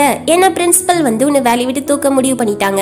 அப்படின்ற மாதிரி எல்லாம் சொல்ல ஹீரோனுக்கு கடுப்பாகுது. தப்பான விஷயத்த போட்டிருக்காங்க அப்படின்னு சொல்லி சொல்லிட்டு இப்போ நம்ம ஹீரோ கிட்ட போயிட்டு இதை சொல்லி ஹெல்ப் கேட்குறா அதுக்கு ஹீரோவும் ஹெல்ப் பண்றதா சொல்றான். அதுக்கு நீ பதிலுக்கு என்ன பண்ணுவ அப்படின்ட்டு கேட்க ஹீரோன் நீங்க கேட்கறத நான் பண்றேன் அப்படின்ட்டு சொல்றான். கிட்ட வரவன் ஹீரோயினை கிஸ் பண்றதுக்காக போறான். இப்ப ஹீரோக்கு ஒரு மெசேஜ் வருது. அதை ஆன் பண்ண ஹீரோக்கு ஆல்ரெடி இந்த விஷயம்லாம் தெரிய வந்து ஆல்ரெடி சால்வே பண்ணிட்டான். இப்போ இதெல்லாம் ஹீரோனுக்கு தெரிய வர ஹீரோனுக்கு ஒரே சந்தோஷமாகுது இப்போ ரொம்ப தேங்க்ஸ் அப்படின்ட்டு ஹீரோயின் சொல்றா சிரிச்சுக்கிட்டே. நீ வந்து தேங்க்ஸ் இப்படி சொல்லக்கூடாது அப்படின்ட்டு சொல்ல ஹீரோயினும் ஹீரோவை கிஸ் பண்றதுக்காக வரா. பட் அவளுக்கு கொஞ்சம் ஷையா ஃபீல் ஆக திரும்பிக்கிறா. ஆனா ஹீரோ ஹீரோயினை கிஸ் பண்றான். இதுக்கப்புறம் இந்த பொண்ணு அதான் அந்த ஸ்டூடெண்ட் இருக்கும்ல அதான் ஹீரோனோட அந்த கிளாஸ் ஸ்டூடெண்ட் அந்த பொண்ணை பாக்குறதுக்காக ஹீரோயின் கிளம்பி போயிருக்கா. அந்த பொண்ணு இங்க இருந்து அப்ரோட் போறதா சொல்றா ஹீரோயின் கிட்ட. நான் வந்து உங்களுக்கு நிறைய தொல்லையை ஏற்படுத்தி தந்துட்டேன். என்னால் தான் வந்து உங்களுக்கு இந்த பெரிய ஆபத்து வந்துடுச்சு. உங்களை ஸ்கூல்ல இருந்து தூக்கிட்டாங்கல்ல. எனக்கு ரொம்ப கஷ்டமா இருக்கு அப்படின்ட்டு ஹீரோயின் கிட்ட சாரி கேட்கறா அதுக்கு ஹீரோயின் சாரி எல்லாம் வேணாம். நீ ரொம்ப சந்தோஷமா இருந்தா அதுவே எனக்கு போதும் அப்படின்ட்டு சொல்றா. இப்போ அந்த பொண்ணு ஒரு பென் டிரைவை ஹீரோயின் கிட்ட கொடுக்குறா. எதுக்காக இது அப்படின்ட்டு கேட்டா அந்த ஃபேமிலியில நீங்க இன்வால்வ் ஆகிட்டீங்க. இதுக்கப்புறம் கண்டிப்பா அவங்க அடிக்கடி உங்களை தொல்லை பண்ணுவாங்க. அதனால உங்களுக்கு ஆபத்து வரும்போது இதை யூஸ் பண்ணிக்கோங்க. அந்த ஃபேமிலிக்கு எதிரான நிறைய எவிடன்ஸ் இதில் இருக்கு அப்படின்ட்டு ஹீரோன்கிட்ட கொடுக்குறா. ஆனால் அதுக்கு முன்னாடி உங்களுக்கு எதுனா ஆபத்து வரதுக்கு முன்னாடி நீங்கள் இது ரிலீஸ் பண்ணக்கூடாது. ஏன்னா அதுவே ஒரு பெரிய விஷயமா மாறிட்டோம் அப்படின்ட்டு சொல்லுது அந்த பொண்ணு இதுக்கு ஹீரோயின்மே சரி அப்படின்றா. அதுக்கப்புறம் நம்ம ஹீரோயின் வந்து இவ வேலை போயிடுச்சுல்ல அது விஷயமா இவளோட சீனியர் ஒரு பையன் இருக்கான். அந்த பையனை மீட் பண்றதுக்காக போயிருக்கா. இது நம்ம ஹீரோ பார்க்குறான் அது ஹீரோயின் சிரிச்சு சிரிச்சு பேசுவாளா? மறுபடியும் ஹீரோக்கு ஜலஸ் ஆகுது. ஆனா இந்த வாட்டி அவன் அந்த மாதிரி எதுவுமே கோவப்படல.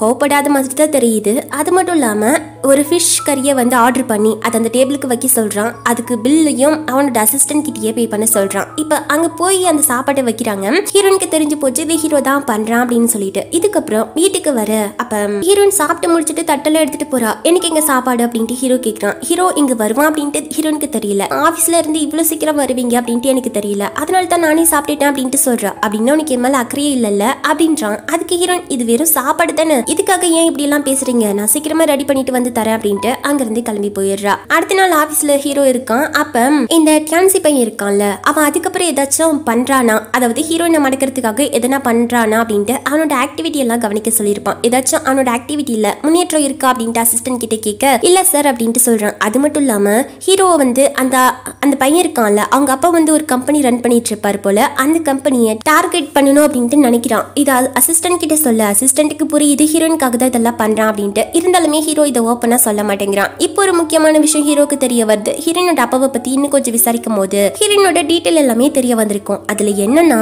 ஹீரோனோட அம்மா வந்து அவளோட அம்மாவே கிடையாதான். இதை கேட்டோன்னே ஹீரோக்கு செம ஷாக் ஆனா இதை ஹீரோயின் கிட்ட சொல்லாம ஹீரோ மறைச்சிட்டான். ஏன்னா சொன்னா ரொம்ப ஃபீல் பண்ணுவா அப்படின்னு சொல்லிட்டு இந்த பக்கம் ஹீரோயினோட அம்மாவை காட்டினா அவங்க ஹீரோயினுக்கு பிளைண்ட் டேட்டுக்கு அரேஞ்ச் பண்றாங்க போல. இந்த விஷயத்த ஹீரோயின் கிட்ட சொல்றாங்க. ஹீரோயின் வேணாமா அப்படின்ட்டு சொல்றா. இல்லடா நீ போயிட்டு பாரு. என்னோட வாழ்க்கை மாதிரி உன்னோட வாழ்க்கையும் ஆகக்கூடாது. நீ லவ் பண்ணி ஒரு நல்ல பையனை மேரேஜ் பண்ணிக்கணும். இதுதான் என்னோட ஆசை. நான் வந்து ஏற்கனவே அரேஞ்ச்மெண்ட்ஸ் எல்லாம் பண்ணிட்டேன். நீ போயிட்டு அந்த பையனை மீட் பண்ணி பாரு அப்படின்ட்டு சொல்றாங்க. ஹீரோனும் வேற வழி இல்லாம அடுத்த நாள் அந்த பையனை மீட் பண்றதுக்காக போறா. அங்க போயிட்டு அப்புறம் தான் அந்த பையன் யார் அப்படின்றது தெரிய வருது. அந்த பையன் லின்னு.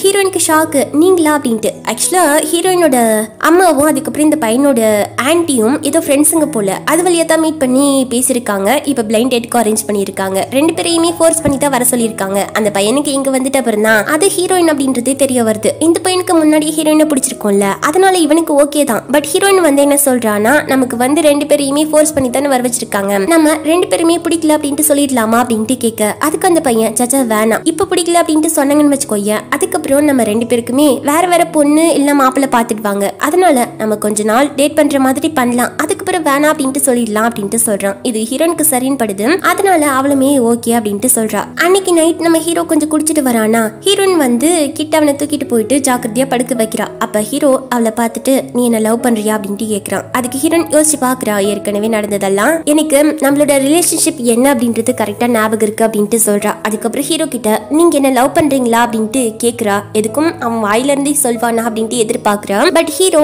இல்ல நமக்குள்ள இருக்க ரிலேஷன்ஷிப் வந்து லவ் கிடையாது அப்படின்ட்டு சொல்லிடுறான் இதை கேட்டோன்னு ஹீரோயின் சோகமாகறா அப்படியே படுத்து தூங்கிடுறா. இப்ப அடுத்த நாள் கண் முழிச்சோடனே ஹீரோயின் அங்கிருந்து எழுந்திரிச்சு போக ட்ரை பண்ணும்போது இவளுக்கு இருமல் வருது. இவளுக்கு உடம்பு சரியில்லை அப்படின்றது ஹீரோக்கு தெரியுது. அவளை அப்படியே படுக்க வச்சுட்டு அதுக்கப்புறம் போயிட்டு மாத்திரலாம் மாத்திரைலாம் எடுத்துகிட்டு வரான் ஹீரோனுக்கு எழுந்து சாப்பிட சொல்கிறான் ஆனால் ஹீரோன் மாத்திரை சாப்பிட்டு இந்த மாதிரி சாப்பிட்டே பல நாள் ஆகுதான். ஏன் அப்படின்ட்டு ஹீரோ கேட்குறான் அதுக்கு ஹீரோன் சின்ன வயசுல மலையில் நனைஞ்சிட்டாலாம் அவங்க அம்மா வந்து ரொம்ப டிஸ்டர்பாக இருந்தாங்கல்ல. அவங்க அப்பா ஜெயிலுக்கு போயிட்ட அப்புறம். அதுக்கப்புறம் அவங்க வந்து தெரியாமல் வேற மாத்திரையை எடுத்து கொடுத்துருக்காங்க. இதனால ஹீரோன் தூக்கத்துல இருந்து ரெண்டு நாள் எழுந்திருக்கவே இல்லையா? அதுக்கப்புறம் என்னாச்சு அப்படின்ட்டு கேட்குறான் அப்ப எனக்கு மாத்திரை சாப்பிடவே பிடிக்க மாட்டேங்குது. அது மட்டும் இல்லாமல் எங்கள் அம்மா அந்த மாதிரி மாத்திரையை மாற்றி கொடுத்துட்டாங்க அப்படின்னு சொல்லிட்டு ரொம்ப அழுதுட்டே இருந்தாங்க. நான் வந்து சமாதானப்படுத்துகிற வரைக்கும் அதாவது உங்கள் தப்பு இல்லாமா அப்படின்ட்டு சொல்ற வரைக்கும் அவங்க அழுதுட்டே இருந்தாங்க. அவங்கள ப்ளேம் பண்ணிட்டே இருந்தாங்க. திரும்ப திரும்ப என்கிட்ட சாரி கேட்டுட்டே இருந்தாங்க தெரியுமா அப்படின்ட்டு சொல்றா. அதுக்கு ஹீரோ இந்த மாத்திரை நான் தப்பான மாத்திரையெல்லாம் எடுத்துட்டு வந்து தரல. இது கரெக்டான மாத்திரை தான். நான் வேணா ஒரு வாட்டி சாப்பிட்டு காட்டணுமா அப்படின்ட்டு கேட்குறான் அதுக்கு ஹீரோ இல்ல இல்ல வேணாம் அப்படின்ட்டு அதை எடுத்து சாப்பிட்டுக்கிறா. அதுக்கப்புறம்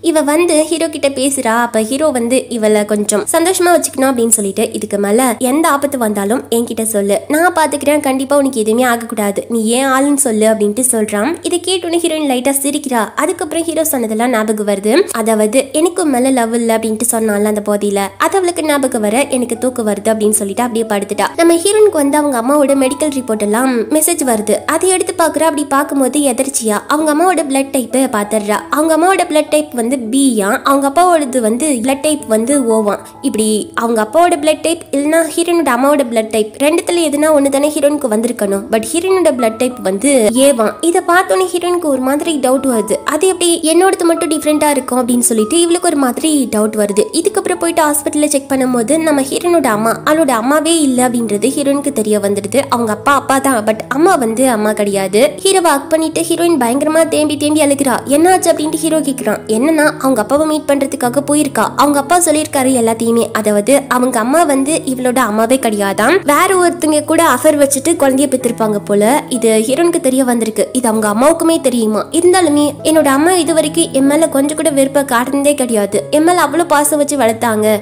அப்படின்னு சொல்லிட்டு ரொம்ப தேம்பி தேம்பி அழுகிறா. ஹீரோ அவளை சமாதானப்படுத்துறான். நம்ம ஹீரோ கனடா போயிருப்பான். கனடா போயிட்டு இப்பதான் வரான். வந்த உடனே ஹீரோயினுக்கு கழுத்துல ஒரு நெக்லஸ் வாங்கிட்டு வந்திருக்கான். அது அவளுக்கு போட்டு விட்டு டயர்டா வந்திருப்பான் போல படுத்துட்டான். இப்ப நம்ம ஹீரோயின் அவனோட நோஸ் எல்லாம் தடவி பார்த்துட்டு இருக்கா. இப்ப நம்ம ஹீரோ திரும்பி நான் உன்னை ரொம்ப மிஸ் பண்ண அப்படின்ட்டு சொல்றான். அதுக்கு ஹீரோனும் நானும் அப்படின்ட்டு சொல்றா. இப்ப அடுத்த நாள் மார்னிங் நம்ம ஹீரோ இங்க இருந்து அவனோட வீட்டுக்கு அதாவது பழைய வீடு இருக்குல்ல அவங்க தாத்தா இருக்காரு அங்கதான் அந்த வீட்டுக்கு இன்னும் கொஞ்ச நாள் நான் போயிட்டு அங்கே தான் ஸ்டே பண்ண போகிறேன் இதுக்கு மேலே நீ ஜாக்கிரதையாக இருக்கணும். எங்கே போனாலும் என்னோட அந்த பாடி கார்டு இல்லாமல் போகக்கூடாது அப்படின்ட்டு சொல்கிறான் இதுக்கு ஹீரோயினுமே சரின்றா. ஹீரோட ஃபேமிலி எப்படின்னா ஹீரோ வந்து அந்த காலத்துலேருந்து இந்த பரம்பரை பரம்பரையாக வருவாங்கல்ல இந்த ராஜ குடும்பம் மாதிரி. அந்த ஃபேமிலியே ஃபுல்லாகவே ஒரு லீடர் மாதிரி இருப்பாங்க. அந்த லீடர் வந்து இப்போ ஹீரோட தாத்தாவாக இருக்காராம். அடுத்து ஹீரோ தான் அந்த லீடர் ஆக போகிறானா இந்த விஷயத்தில் ஹீரோயின் கிட்ட சொல்ல இது கேட்கும் போதே அந்த காலத்தில் இருந்த மாதிரி ஃபீல் ஆகுது. ஆனால் எனக்கு ஒரு டவுட் உங்கள் தாத்தா இருக்காருன்னா அடுத்து உங்கள் அப்பா தானே லீடராக மாறி இருக்கணும் ஏன் நீங்கள் ஆகுறீங்க அப்படின்ட்டு இவளுக்கு வந்த டவுட்டு நம்மள மாதிரியே கேட்க ஹீரோ வந்து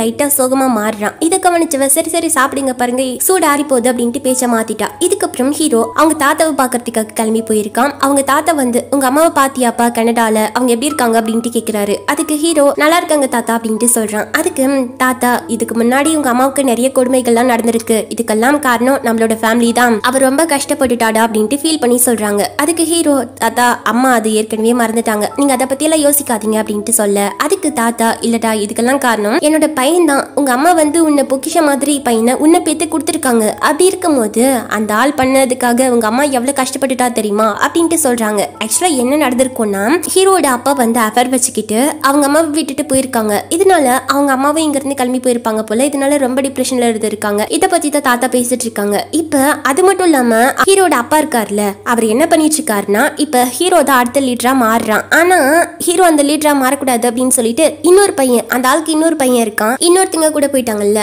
அந்த பையனுக்கு தான் அந்த லீடர் பதவி கிடைக்கணும். ஹீரோக்கு எந்த சுத்தமே கிடைக்கக்கூடாது அப்படின்னு சொல்லிட்டு நினச்சிட்டு இருக்கான். இந்த விஷயம்லாம் நம்ம ஹீரோக்கு தெரிய வந்திருக்கும். இப்போ தாத்தா கிட்டேயுமே சொல்கிறாங்க இதுக்கப்புறம் ஹீரோயின் மறுபடியும் அவளோட அம்மாவை பார்க்கறதுக்காக போயிருக்கா. அவங்க அம்மா மறுபடியும் நீ லின்ன பாத்தியா? அவங்கிட்ட பேசுனியா? அப்படின்ட்டு கேட்குறாங்க ஹீரோனுக்கு வந்து கல்யாணம் பண்ணணும் அப்படின்ட்டு முடிவு பண்ணிட்டாங்க போல. அதனால மறுபடியும் அவங்க கிட்ட ஃபோன் பண்ணி பேசு அப்படின்ற மாதிரி எல்லாம் சொல்றாங்க. ஹீரோனுக்கு என்ன சொல்றதுன்னு தெரியல.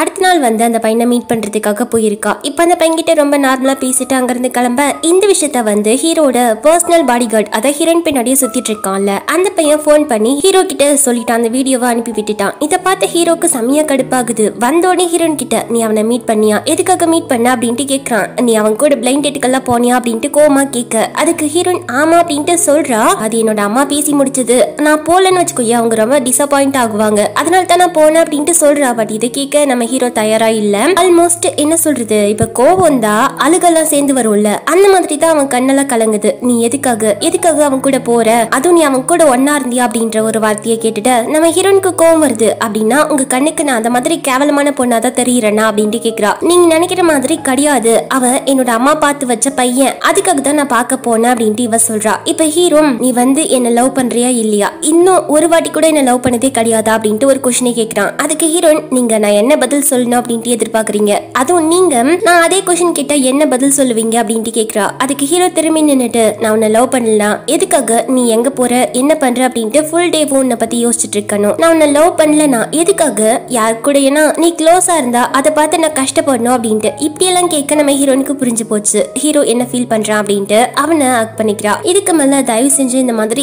அவனை பார்க்க போகாது அப்படின்ட்டு சொல்ல ஹீரோனோ சரின்றா. ஆனா எது வரைக்கும் நான் இந்த மாதிரி இருக்கணும்? அப்படின்ட்டு கேட்க அதுக்கு ஹீரோ நீ வந்து என்ன வெறுக்கிற வரைக்கும் உனக்கு என்ன பிடிக்காம போற வரைக்கும் நான் வந்து டயர்ட் ஆகுற வரைக்கும் நீ என் கூட தான் இருக்கணும் அப்படின்ட்டு சொல்றான். இதுக்கு ஹீரோயின்மே சரி அப்படின்றா. இப்ப அடுத்த நாள் வந்து இந்த டியான்சியை வந்து ஹீரோ அவனோட கம்பெனியை வந்து க்ளோஸ் பண்றதுக்கு முடிவு பண்ணிட்டான்ல. இது வரைக்கும் அந்த டியான்சி பண்ண தப்பு எல்லாமே அந்த எவிடன்ஸ் எல்லாம் எடுத்து கோர்ட்ல ப்ரொடியூஸ் பண்ணிட்டான் போல. அந்த பையனை அரெஸ்ட் பண்ணிட்டாங்க. அந்த பையனுக்கு ஒரு அப்பா இருக்காரு. அந்த அந்த அப்பா வந்து கொஞ்சம் மோசமானவர். அந்த பையனை விட அப்படின்ட்டு சொல்லலாம்னு வச்சுக்கோயேன். அந்த பையனோட அப்பா என்ன பண்றாரு அப்படின்றத டீட்டெயிலா கவனிக்க சொல்றான். கண்டிப்பா ஹீரோ இந்த மாதிரி ஒரு காரியம் பண்ணியிருக்கிறதுனால ஹீரோயினை அட்டாக் பண்ண வாய்ப்பு இருக்கு. அதனால அந்த மாதிரி சொல்றான். இப்ப அடுத்த நாள் வந்து நம்ம ஹீரோயின் ஹீரோ ரெண்டு பேருமே சாப்பிட்டுட்டு இருக்காங்க. அப்ப ஹீரோ அவளுக்கு ஒரு ஃபோன் கொடுக்குறான். அந்த போன்ல வந்து ஏதோ ட்ராக்கிங் டிவைஸ் சம்திங் ஏதோ இருக்கும் போல. அதனால இதை வச்சுக்கோ சேஃப்டியா அப்படின்ட்டு சொல்றான். அதுக்கு ஹீரோ நீங்க எதுக்காக இதை கொடுக்குறீங்க? அந்த டியான்சே பையன் தானே ஏற்கனவே அரெஸ்ட் ஆகிட்டான். அப்படி இருக்கும் போது எதுக்காக அப்படின்ட்டு கேட்குறா அதுக்கு ஹீரோ அவங்க அப்பா கொஞ்சம் டேஞ்சரஸான ஆளு. அதனால தான் சொல்றேன் வச்சுக்கோ அப்படின்ட்டு சொல்றான். அதனால ஹீரோயினும் சரின்றா. இப்ப நம்ம ஹீரோயின் சாப்பிட்டுட்டு இருக்கிறதே நம்ம ஹீரோ பாக்குறான். பார்த்தவன் அப்படியே அவனையே அறியாம நீ கண்டிப்பா என்ன லவ் பண்ணுவ. உன்னை லவ் பண்ண வைப்பேன் அப்படின்ட்டு சொல்றான். ஹீரோ ஹீரோயின் கிட்ட அவங்க அப்பாவை இது வரைக்கும் யார் யார் பார்க்க வந்திருக்காங்க அப்படின்ற டீட்டெயில வந்து சேகரிச்சு எடுத்துட்டு வந்து தந்திருப்பான். அதை ஹீரோயின் பாக்குறா. அப்படி பார்க்கும்போது ஒரு லேடி மட்டும் அடிக்கடி வந்து அவங்க அப்பாவை மீட் பண்ணியிருக்கா. இப்ப அந்த லேடிக்கு கால் பண்ணி சும்மா யாரோ மாதிரி ஏதோ ஒரு ப்ராடக்ட்டை விற்கிற மாதிரி பேசினா அந்த லேடி ஃபர்ஸ்ட் காலை கட் பண்ணிட்டாங்க. செகண்ட் டைம் பண்ணும்போது நீ யார் என்ன? அப்படின்றது எனக்கு தெரியாது. நான் நினைச்சேன்னு வச்சுக்கோயேன் ஒரே நொடியில உன்னை கண்டுபிடிச்சி அங்கே வந்து உன்னை அழிச்சிருவேன் அப்படின்ட்டு மிரட்டுறாங்க. இதுல இருந்து ஹீரோனுக்கு புரியுது இவங்க சாதாரண ஆள் கிடையாதுன்ட்டு. ஆனா ஹீரோனுக்கு டவுட் என்னன்னா அவங்க அப்பா சொல்லியிருப்பார்ல இப்ப ஹீரோன் கூட இருக்கவங்க வந்து அவளோட சொந்த அம்மா கிடையாதுன்ட்டு. ஒருவேளை இவங்க தன்னோட சொந்த அம்மாவா அப்படின்ட்டு ஹீரோனுக்கு ஒரு மாதிரி டவுட் ஆகுது. ஹீரோ அவங்க தாத்தாவை பாக்குறதுக்காக போயிருக்கான். அவங்க தாத்தா மயக்கம் போட்டு விழுந்துட்டாராம். அவருக்கு வயசாகுது இல்ல அவருக்கு ஏதோ ஒரு சர்ஜரி கூட பண்ணணுமா? இதை பத்தி பேசிட்டு இருக்காங்க தாத்தா இருந்துட்டு எனக்கு தான் வயசாகுது இல்லப்பா நீ சீக்கிரமா கல்யாணம் பண்ணிக்கோ ஏன்? நீ யாரையா லவ் பண்றியா? அப்படின்ட்டு கேக்குறாங்க. ஹீரோ கொஞ்சம் யோசிக்கிறான். ஹீரோயினை வந்து இப்போதைக்கு சொல்ல முடியாதுல்ல. ஏன்னா அவளுமே லவ் பண்றேன் அப்படின்ட்டு இன்னும் வாயை விட்டு சொல்லல. அதனால இல்ல தாத்தா அப்படின்ட்டு பொதுவா சொல்லிட்டான். இதுக்கப்புறம் அன்னைக்கு வீட்டுக்கு வரான். வீட்டுக்கு வந்த உடனே நம்ம ஹீரோயின் நடந்த விஷயத்தெல்லாம் அதாவது இந்த மாதிரி ஒரு லேடி எங்க அப்பா கிட்ட பேசிட்டு இருக்காங்க அப்படின்றத சொல்றா. சொல்றா ஹீரோ ஏதோ யோசனையாவே இருக்கான். என்னாச்சுங்க அப்படின்ட்டு கேக்குறா. அதுக்கு ஹீரோ இல்ல என்னோட தாத்தாவுக்கு கொஞ்சம் உடம்பு சரியில்லை. அதனால நான் அங்க போயிட்டு ஸ்டே பண்ணணும். எவ்வளவு நாள் ஆகும் அப்படின்ட்டு எனக்கு தெரியல அப்படின்ட்டு சொல்றான். இதை வச்சு ஹீரோயின் என்ன நினைச்சுக்கிட்டானா இப்ப தியான்சி வேற இங்க இருந்து ஜெயிலுக்கு போயிட்டான்ல. அதனால நம்மள வீட்டை விட்டு போக சொல்றான் போல அப்படின்ட்டு நினைச்சிட்டு சரிங்க நீங்க இல்லாம எனக்கு என்ன வேலை? நானும் போறேன் அப்படின்ட்டு சொல்றா. அதுக்கு ஹீரோ இப்ப நான் உன்னை இங்க இருந்து போக சொன்னேன்னா நான் வர வரைக்கும் வெயிட் பண்ணு. புரியுதா? இன்னும் உங்க அப்பாவை பத்தின டீட்டெயில் எல்லாத்தையுமே நான் சேகரிச்சுட்டு தான் இருக்கேன். நான் உன்னை இங்க இருந்து போக சொல்லல. புரியுதா அப்படின்ட்டு கேக்குறான். இதுக்கு ஹீரோயின்மே சரி அப்படின்றா. இதுக்கப்புறம் அவங்க தாத்தாவை பாக்குறதுக்காக மெயின் ஹவுஸ்க்கே ஹீரோ போயிட்டு ஸ்டே பண்ண ஆரம்பிச்சிட்டான். இப்ப கரெக்டா அவங்க அப்பா வந்திருக்காரு. அவர் வழக்கம் போல அந்த சொத்து அமுக்கிறதுல தான் குறியா இருக்காரு. தாத்தா கிட்ட இதை பத்தி பேச. அதுக்கு தாத்தா இங்க பாரு எனக்கு இருக்க ஒரே ஒரு பேர்னா அந்த பையன் தான். நீயா போயிட்டு ஏதோ ஒரு பொண்ணு கூட ஆஃபர் வச்சுட்டு பேத்து குழந்தெல்லாம் என்னோட குழந்தையா? என்னோட பேர்னா ஏத்துக்கவே முடியாது. அப்படின்ட்டு திட்டுறாரு. இதுல ஹீரோக்கு வேற அவர் வந்த உடனே சுத்தமா பிடிக்கல. அங்க இருந்து எழுந்திரிச்சு போயிட்டான். இப்ப அவருமே கடுப்பாகிறாரு. பாத்தியா? இவனுக்கு வந்து என் மேல கொஞ்சம் கூட மரியாதையே கிடையாது அப்படின்னு சொல்லிட்டு. அதுக்கப்புறம் தாத்தா எதுவுமே பேசாம அங்க இருந்து எழுந்திரிச்சு போன உடனே இவர் உடனே கால் பண்ணி இ ஃபேமிலி அப்படின்ட்டு ஒரு ஃபேமிலி இருக்காங்க. அந்த ஃபேமிலியோட பொண்ணு பேரு சீச்சன்னா அந்த பொண்ணை வந்து தன்னோட பையனுக்கு கல்யாணம் பண்ணி வைக்கிறதுக்கு பேசிட்டு இருக்காரு. அதாவது ஹீரோக்கு கல்யாணம் பண்ணி வைக்கிறதுக்கு பேசிட்டு இருக்காரு. இந்த பக்கம் அந்த பொண்ணை காட்டுறாங்க. இந்த பொண்ணுக்கு இந்த விஷயம் தெரிய வருது. ரொம்பவே சந்தோஷப்படுறா. அப்ப அந்த பக்கம் நம்ம ஹீரோயின் போவா. அவ பின்னாடியே ஹீரோட பர்சனல் பாடி கார்டு போறான். இதை பார்த்த உடனே இந்த பொண்ணுக்கு சந்தேகம் ஆயிடுச்சு. இதுக்காக ஹீரோட பர்சனல் பாடி கார்டு இந்த பொண்ணு கூட போகணும் அப்படின்ட்டு. நம்ம ஹீரோயின் இப்ப புதுசா ஒரு காலேஜ் ஜாயின் பண்ணிட்டா. அந்த காலேஜுக்குள்ளேயும் பாடி கார்டு போறது அவ்வளவா நல்லா இருக்காது அப்படின்ட்டு. நீங்க இங்கேயே இருங்க அப்படின்னு அப்படின்ட்டு சொல்றான் அந்த பையன்கிட்ட. அதுக்கு அந்த பையனும் சரி ஓகே மேடம் அப்படின்ட்டு அங்கிருந்து கீழே போயிட்டு கேட்ல வெயிட் பண்ணிட்டு இருக்கான் காலேஜ் முடிஞ்சு எல்லாருமே கிளம்பிட்டாங்க. ஆனா ஹீரோயின் மட்டும் வரவே இல்லை. அங்க வர ஒரு பையனை கூட்டு இந்த மாதிரி அந்த டீச்சர் வந்தாங்களா? அப்படின்ட்டு கேட்க இல்ல அவங்க கிளாஸ்க்கே வரல அப்படின்ட்டு சொல்றான். இந்த பையனுக்கு சமய ஷாக் ஆகுது. உடனே ஹீரோக்கு கால் பண்ணி இந்த விஷயத்த சொல்ல ஹீரோயினோட போன்ல தான் ஏற்கனவே ட்ராக்கிங் டிவைஸை ஃபிட் பண்ணிருக்காங்கல்ல சோ அதை வச்சு ஹீரோயின் எங்க இருக்கா? அப்படின்றத கண்டுபிடிச்சிட்டாங்க. ஹீரோயினை இந்த டியான்சி பையனோட அப்பா தான் கடத்திருக்காரு அவருக்கு அடுத்து ஹீரோவை வர வைக்கணும். அதுதான் அவரோட பிளானே அது மட்டும் இல்லாமல் இப்போ ஹீரோ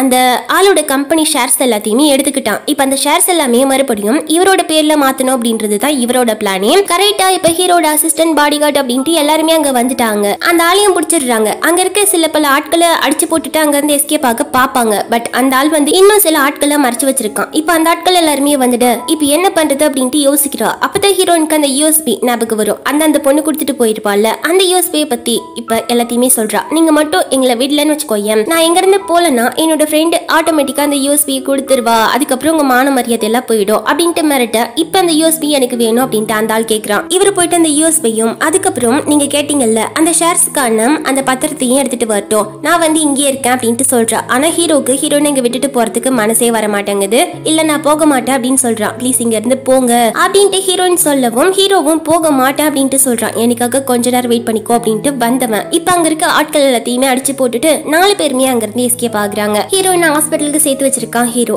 சாரி நான் தான் உங்களை அதுக்குள்ள கொண்டு வந்துட்டேன் அப்படின்ட்டு ஹீரோன் சாரி கேட்கிறா அதுக்கு ஹீரோ இல்ல இல்ல நான் தான் அதுல உன்னை கூட்டிட்டு வந்தேன். ஐம் சாரி என்னால் தான் உனக்கு இந்த மாதிரி ஆபத்து வந்துடுச்சு அப்படின்ட்டு ஹீரோயின் ஆக்ட் பண்ணிக்கிறான். ஆமா உனக்கு அந்த யூஎஸ்பி எப்படி கிடைச்சிச்சு? அப்படின்ட்டு கேட்கிறான் அதுக்கு ஹீரோன் இல்ல அந்த பொண்ணு தான் கொடுத்தா. ஆனா இது உங்ககிட்ட நான் முன்னாடியே சொல்லல. ஏன்னா உங்களை வந்து இதுக்கு மேலேயும் தலையிட வைக்க கூடாது அப்படின்றதுக்காக தான் நான் சொல்லல அப்படின்ட்டு சொல்றா. அதுக்கு ஹீரோ அங்க பாரு இதுக்கு மேல என்ன நடந்தாலும் ஒரு சின்ன விஷயம் நடந்தா கூட என்கிட்ட நீ சொல்லாம இருக்க கூடாது தயவு செஞ்சு என்கிட்ட சொல்லிடு அப்படின்றான். அதுக்கு ஹீரோயின்மே சரின்றான். இப்ப நம்ம ஹீரோயின் ஹீரோ கிட்ட நான் உங்களை ரொம்ப லவ் பண்றேன். நீங்க நினைக்கிறத விட அதிகமா லவ் பண்றேன் அப்படின்ற ஒரு வார்த்தையை சொல்லிட்டா. இது கேட்டோன்னே ஹீரோக்கு அவ்வளவு சந்தோஷமா ஆகுது ஹீரோயின் கிட்ட கியூட்டா விளையாடிட்டு இருக்கான். அவளை கிஸ் பண்றான். ஹீரோ ஹீரோயினோட லவ் வந்து எப்படி டெவலப் ஆச்சு? ஸ்டார்டிங்ல ஹீரோ கொஞ்சம் அப்சசிவா இருக்க மாதிரி இருப்பான். ஆனா லாஸ்டா வர வர அவனோட லவ் வந்து எவ்வளோ அவ்வளோ கியூட்டா இருக்கும். அந்த மாதிரி காட்டியிருப்பாங்க அந்த டிராமால இதுக்கப்புறம் நம்ம ஹீரோ ஆபீஸ்ல இருக்கும்போது இந்த டான்சி பையனோட அப்பாவை போலீஸ் வந்து அரெஸ்ட் பண்ணிருக்காங்க. ஆனா அவன் தப்பிச்சு போயிட்டானா? இந்த விஷயம் ஹீரோக்கு தெரிய வருது. இந்த சமயத்துல அங்க இந்த ஷீஷன் பொண்ணு வந்திருக்கா. எதுக்காகனா இவங்க வீட்டுல ஒரு பார்ட்டி நடக்க போதான் அந்த பார்ட்டிக்கு நீங்க வரணும் அப்படின்ட்டு சொல்லிட்டு கிட்ட கிட்ட வந்து பேசிட்டு இருக்கா. இது ஹீரோக்கு சுத்தமா பிடிக்கல. அதனால அசிஸ்டன்ட் விட்டு அந்த பொண்ணை வெளியே அனுப்ப சொல்றான் அதனால அந்த பொண்ணுக்கு செமையா கோவம் வருது. எதுக்காகனா இந்த பொண்ணுனால தான் இவர் வந்து தான் கிட்ட க்ளோஸா வரமாட்டேங்கிறாரு அப்படின்ட்டு ஹீரோயின் மேல கோவம் வருது. அதுக்கப்புறம் நம்ம ஹீரோட தாத்தாவுக்குமே ஒரு சர்ஜரி நடக்குது. அது சக்சஸ்ஃபுல்லாவும் ஆகிடுது. இதனால ஹீரோக்கு ரொம்ப சந்தோஷமா இருக்கான். இதுக்கப்புறம் ஹீரோயின் வந்து அவளோட அம்மா வீட்டுக்கு போறா. அப்ப அவங்க அம்மா போன்ல யார்கிட்டயோ பேசிட்டு இருக்காங்க. அவ என்னோட பொண்ணு. அவளை என்னால விட்டு கொடுக்கவே முடியாது. நீங்க சொல்றதெல்லாம் நடக்கவே நடக்காது அப்படின்ட்டு பேசிட்டு இருக்காங்க. ஹீரோனுக்கு யார்கிட்ட பேசுறாங்க அப்படின்றது சுத்தமா புரியல. இப்ப ஹீரோயின் வந்த உடனே அவங்க கொஞ்சம் முகத்துல பதட்டமா நீ வந்து அவன் கிட்ட பேசினியாமா நீ அவனை கல்யாணம் பண்ணிக்கிறியா? அவனை உனக்கு பிடிச்சிருக்கா? அப்படின்ற மாதிரி எல்லாம் மறுபடியும் லின்ன பத்தி தான் பேச ஆரம்பிக்கிறாங்க. ஹீரோனுக்கு என்ன சொல்றதுன்னு தெரியல. இவ சைலண்டாவே இருக்கா. அன்னைக்கு நைட்டு வந்து ஹீரோட கால் மேல படுத்துட்டு இருக்கா. அப்ப ஹீரோ நாளைக்கு விடியும் போது நீ ஒரு கஞ்ச ரெடி பண்ணிக்கோ. நம்ம ஹாஸ்பிட்டலுக்கு போக போகிறோம் ஹாஸ்பிட்டலில் நீ ஒருத்தரை மீட் பண்ண போகிற அப்படின்ட்டு சொல்கிறான் மொட்டையாக சொல்கிறான் யார் அப்படின்ட்டு ஹீரோன் கேட்குறா இருந்தாலுமே அங்கே போயிட்டு தெரிஞ்சுக்கோ அப்படின்ட்டு சொல்லிட்டு கூட்டிகிட்டு போகிறான் அங்கே போனால் ஹீரோட தாத்தாவை பார்க்கறதுக்காக தான் கூட்டிகிட்டு போயிருக்கான். ஹீரோனுக்கு கொஞ்சம் நர்வஸாக இருக்கு. தாத்தாவுமே ஹீரோயினை நல்லபடியாக வந்து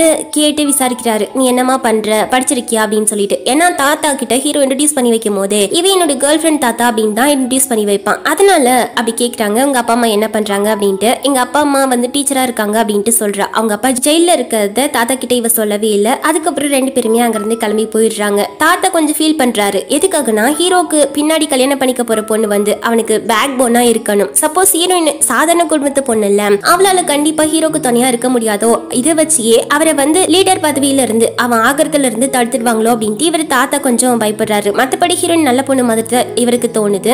இதுக்கப்புறம் வெளியே கூட்டிட்டு வந்தா நீங்க வந்து என்கிட்ட முன்னாடியே சொல்லியிருக்கலாம்ல நான் கொஞ்சம் ப்ரிப்பேர்டாக வந்திருப்பேன்ல அப்படின்ட்டு கேட்குறா அதுக்கு ஹீரோ பரவாயில்ல அப்படின்றான் என்னோட அப்பா ஜெயிலில் இருக்கிறத நான் தாத்தா கிட்ட சொல்லவே இல்லை அப்படின்றா. அதுக்கு ஹீரோ பரவாயில்ல. அதெல்லாம் எனக்கு பிரச்சனையே கிடையாது. நான் லவ் பண்ணுறது உன்னதான். உங்கள் அப்பா அம்மா எந்த சுச்சுவேஷனில் இருந்தால் கூட எனக்கு அதை பற்றிலாம் கவலையே கிடையாது. நீ அதை பற்றி நினச்சி கவலைப்படாத அப்படின்ட்டு சொல்கிறான் நீ என்னை கல்யாணம் பண்ணிக்கிறியா அப்படின்ட்டு டக்குன்னு கேட்க ஹீரோயின் யோசிக்கிறா. இவளுக்கு ஒரு மாதிரி தயக்கமாக இருக்குது ஏன்னா ஹீரோ ஒரு பெரிய ஆள். கண்டிப்பாக அவனுக்கு வர போற மனைவி அவனுக்கு பேக் போனாக இருக்கணும் அப்படின்னு தான் எல்லாருமே ஆசைப்படுவாங்க. நாம் அவனுக்கு தகுதி இல்லையோ அப்படின்ட்டு இவளுக்கு ஹீரோயினுக்கே ஒரு மாதிரி குழப்பமாகுது.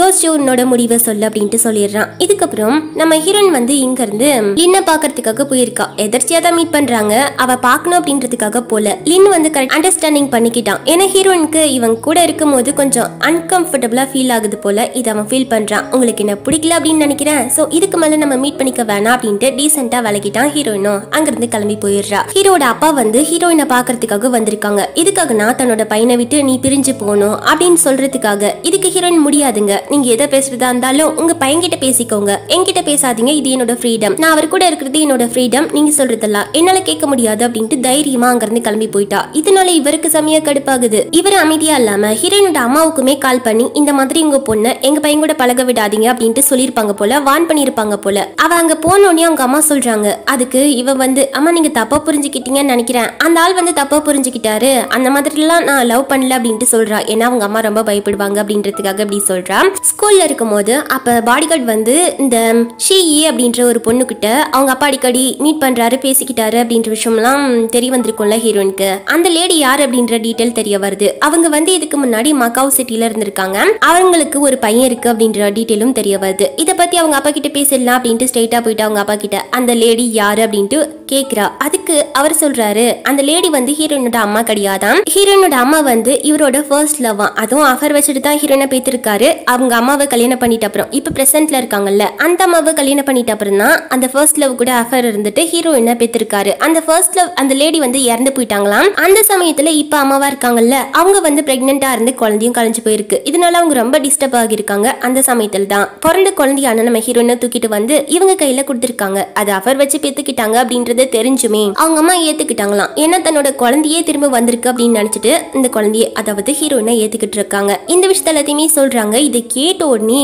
ஹீரோனுக்கு பயங்கர கடுப்பாகுது. இந்த ஜெயிலுக்கு வந்துட்டு அப்புறம் பதினாலு வருஷம் நாங்க எந்த மாதிரி கொடுமையை அனுபவிச்சோம் அப்படின்றது உங்களுக்கு தெரியாதுல்ல? சில கடங்காருங்க நீங்க பணத்தை வாங்கிட்டு போயிட்டு கடன் பண்ணி வச்சிங்கல்ல அவங்க எல்லாம் எங்களை பயங்கரமா ஓட ஓட துரத்தி துரத்தி அடிச்சாங்க தெரியுமா? நாங்க எந்த மாதிரி ஒரு சுச்சுவேஷன்ல இருந்தோம் தெரியுமா? ஆனா நீங்க என்னட்டானா இந்த மாதிரி சொல்றீங்க. அதுவும் புதுசா ஒரு லேடி கூட வேற அஃபர் வச்சிருக்கீங்க.